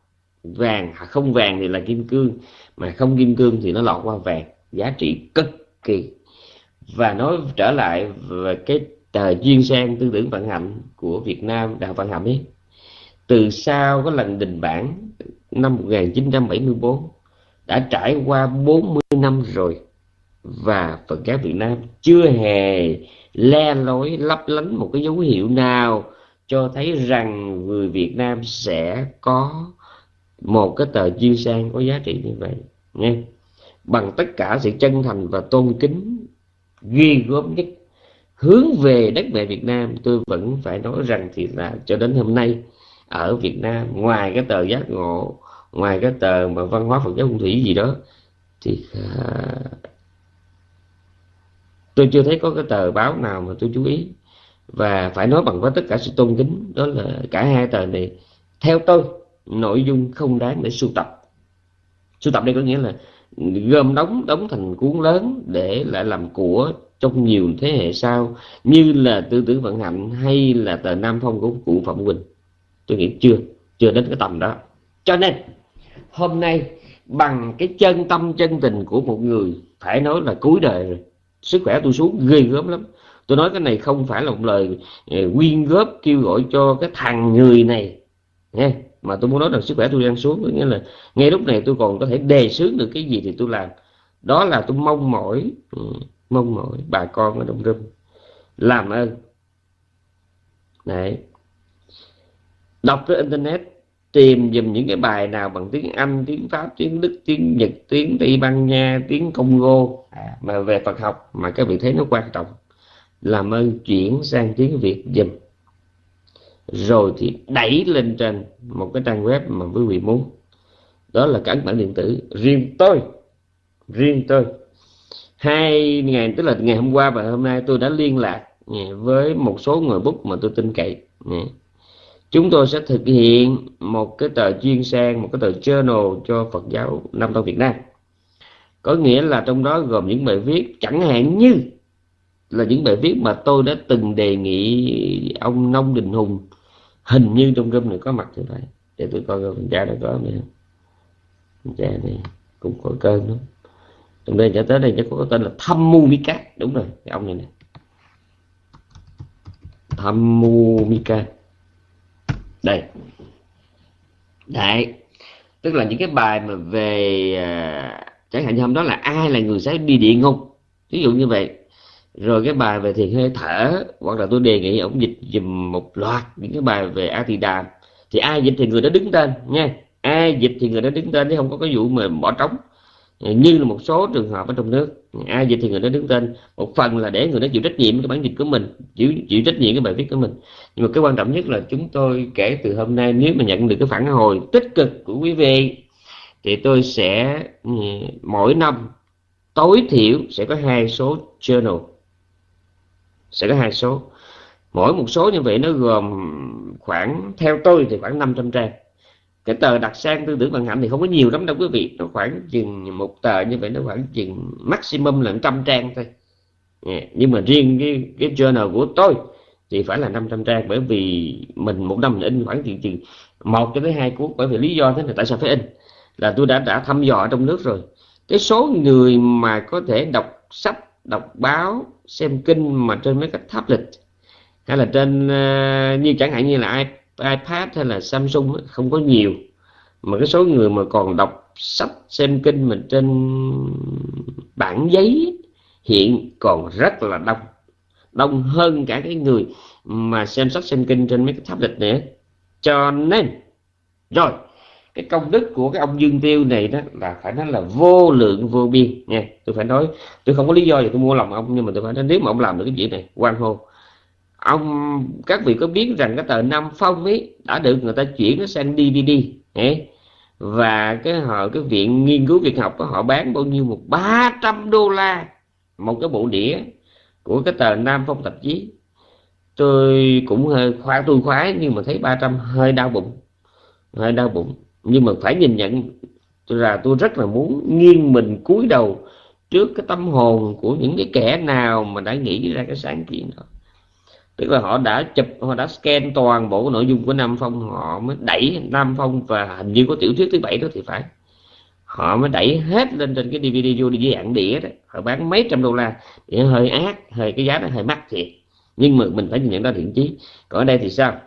Ở đây tôi muốn collect tất cả bài dịch mà đặc biệt là tôi sẽ in những cái bài những cái bản dịch nào do tôi đề nghị. Ví dụ như tôi lâu lâu tôi đọc một cái chẳng hạn như hôm qua ông thầy Bình An Sơn của mình ông có post lên trên một cái thư viện của ông Gombrich một cái học giả người, người học giả một giáo sư người Anh đấy ừ. cái trang đó cái thư viện đó tôi thấy rất là giá trị của những bài viết phải nói kinh hoàng lắm rất là kinh hoàng. Và ở đây nếu bà con nào mà có biết cái bộ journal của Polytech Society uh-huh, thì bà con sẽ thấy rất là dễ sợ. Cái bộ đó rất là đáng nể tức là toàn những cái tay những cái ngòi bút cự phách thì thôi thì bây giờ học thuật của Phật giáo Việt Nam mình cứ cho là chưa tới lúc để viết thì tại sao mình không dịch? Tại sao mình không dịch? Nha. Yeah. cho nên bà con tôi làm chuyện đó nó nó có tới một ngàn lẻ một lý do. Tôi phải viết ra thôi. Tôi phải viết ra chứ không viết bà con quên. Lý do thứ một là giới thiệu à, những ngồi bút có tâm, rồi có tài, nhưng mà không có tiền. Đó là cái thứ nhất. Giới thiệu những người bút có tâm, có tài nhưng không có tiền. Cái thứ hai, mỗi lần phát hành, số tiền kiếm được sẽ hỗ trợ cho những dịch giả này. Những dịch giả có tài, có tâm nhưng không có tiền. Để báo trước sách bán bao nhiêu thì các vị sẽ nhận được báo bấy nhiêu. Chứ đừng có hy vọng mong manh là chúng tôi sẽ gửi cho các vị một tháng hai chục ngàn đô la thì chỉ có nước nhảy đầu không có cái đó đâu, nha. Mà nếu có số đó thì giác viên bỏ túi chứ ngu gì đưa cho các vị, nha.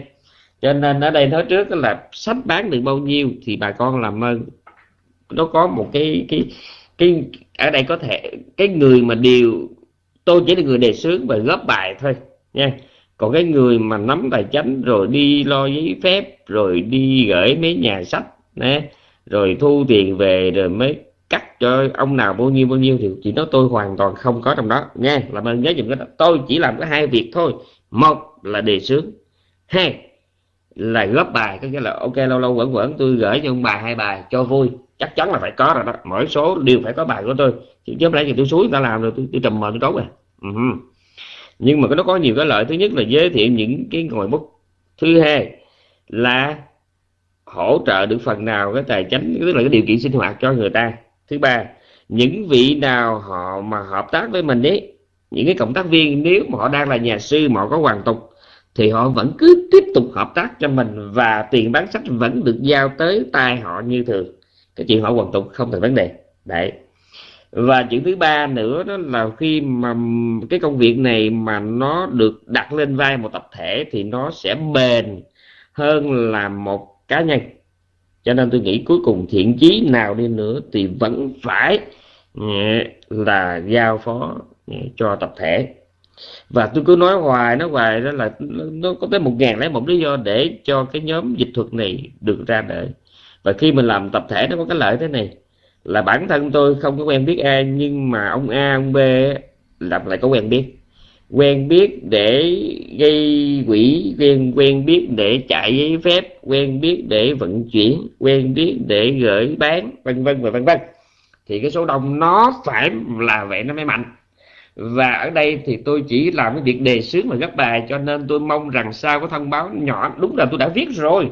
Tôi viết một cái bài tôi viết một cái bài rất là nặng, nhưng mà cuối cùng tôi xóa xóa mà nặng. Chẳng hạn như tôi viết một cái này. Tôi tính đăng lên mà thôi bây giờ tôi thông báo điện là tôi chẳng có cần thông báo nữa. Là để là thông báo từ viện Theravada, tôi thức khuya tôi viết bài này.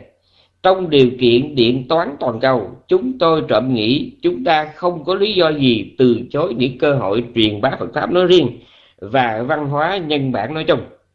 Bên cạnh các công trình Phật học lừng danh như của hội Palitech Society, của Phật giáo Anh Quốc công trình phiên dịch của nhóm Numata hôm nay hay viện đại học vận hành thứ 75 ngoài những bộ đại tạng lưng lửng, còn có những công trình phụ nhìn khiêm tốn hơn, nhưng tác dụng hoàn pháp và lợi ích độ sinh thì vô kể. Đó là các tập chuyên sang journal mà nội dung thì người Việt ta có thể nhìn thấy qua các tập đặc sang tư tưởng của Vạn Hạnh trước đây. Chuyên môn và giá trị là những gì độc giả bắt buộc phải nhìn thấy khi đọc qua nội dung trong đó. Dù loại chuyên sang nào cũng luôn rất kén rất kén độc giả. Ừ không biết chúng tôi có quá lời không khi cho rằng từ sau 1955 Phật giáo Việt Nam trong và ngoài nước đã im lặng, không có một động thái nào để sẵn sàng chào đón một tờ chuyên sang có nội dung tầm cỡ như tư tưởng vận hạnh cũ, nghĩa là cái hay kia đã bị đứt mạch. Người Việt Nam tin Phật và có chút lòng hiếu học, chỉ biết chờ đợi, thậm chí chờ tới chết bởi đã 40 năm rồi, còn gì? Từ sau lúc số đặt sang tư tưởng cuối cùng bị đình bản vào năm 1974 nói ra không ai tin. Tuy là hậu sanh vãn bối, nhưng bản thân chúng tôi cũng là một trong số những người có lòng chờ đợi ấy, chờ và đợi, mong rồi ngóng. Thời thế đã khác chăng? Người có điều kiện thì không muốn làm, mà kẻ muốn làm thì không có điều kiện. Uh-huh. chúng tôi hiện đã lớn tuổi, sức khỏe không còn nhiều. Thay vì ngồi nguyền rủa bóng tối, tự thấy tốt hơn nên đánh lên một que diêm để thắp cây nến nhỏ xíu cuối đường hầm cho đời bớt lạnh. Uh-huh. nhiều lắm. Chúng tôi đang viết dở dang. Tôi đang viết bài tôi đang đọc bài viết của tôi. Ông nội này nãy giờ ông ngủ hay sao mà mình mình nói mà ông, biết tội nghiệp quá. Ông trẻ ông đâu có già ông biết. Ok. Đây là cái bài tôi tính post trên facebook.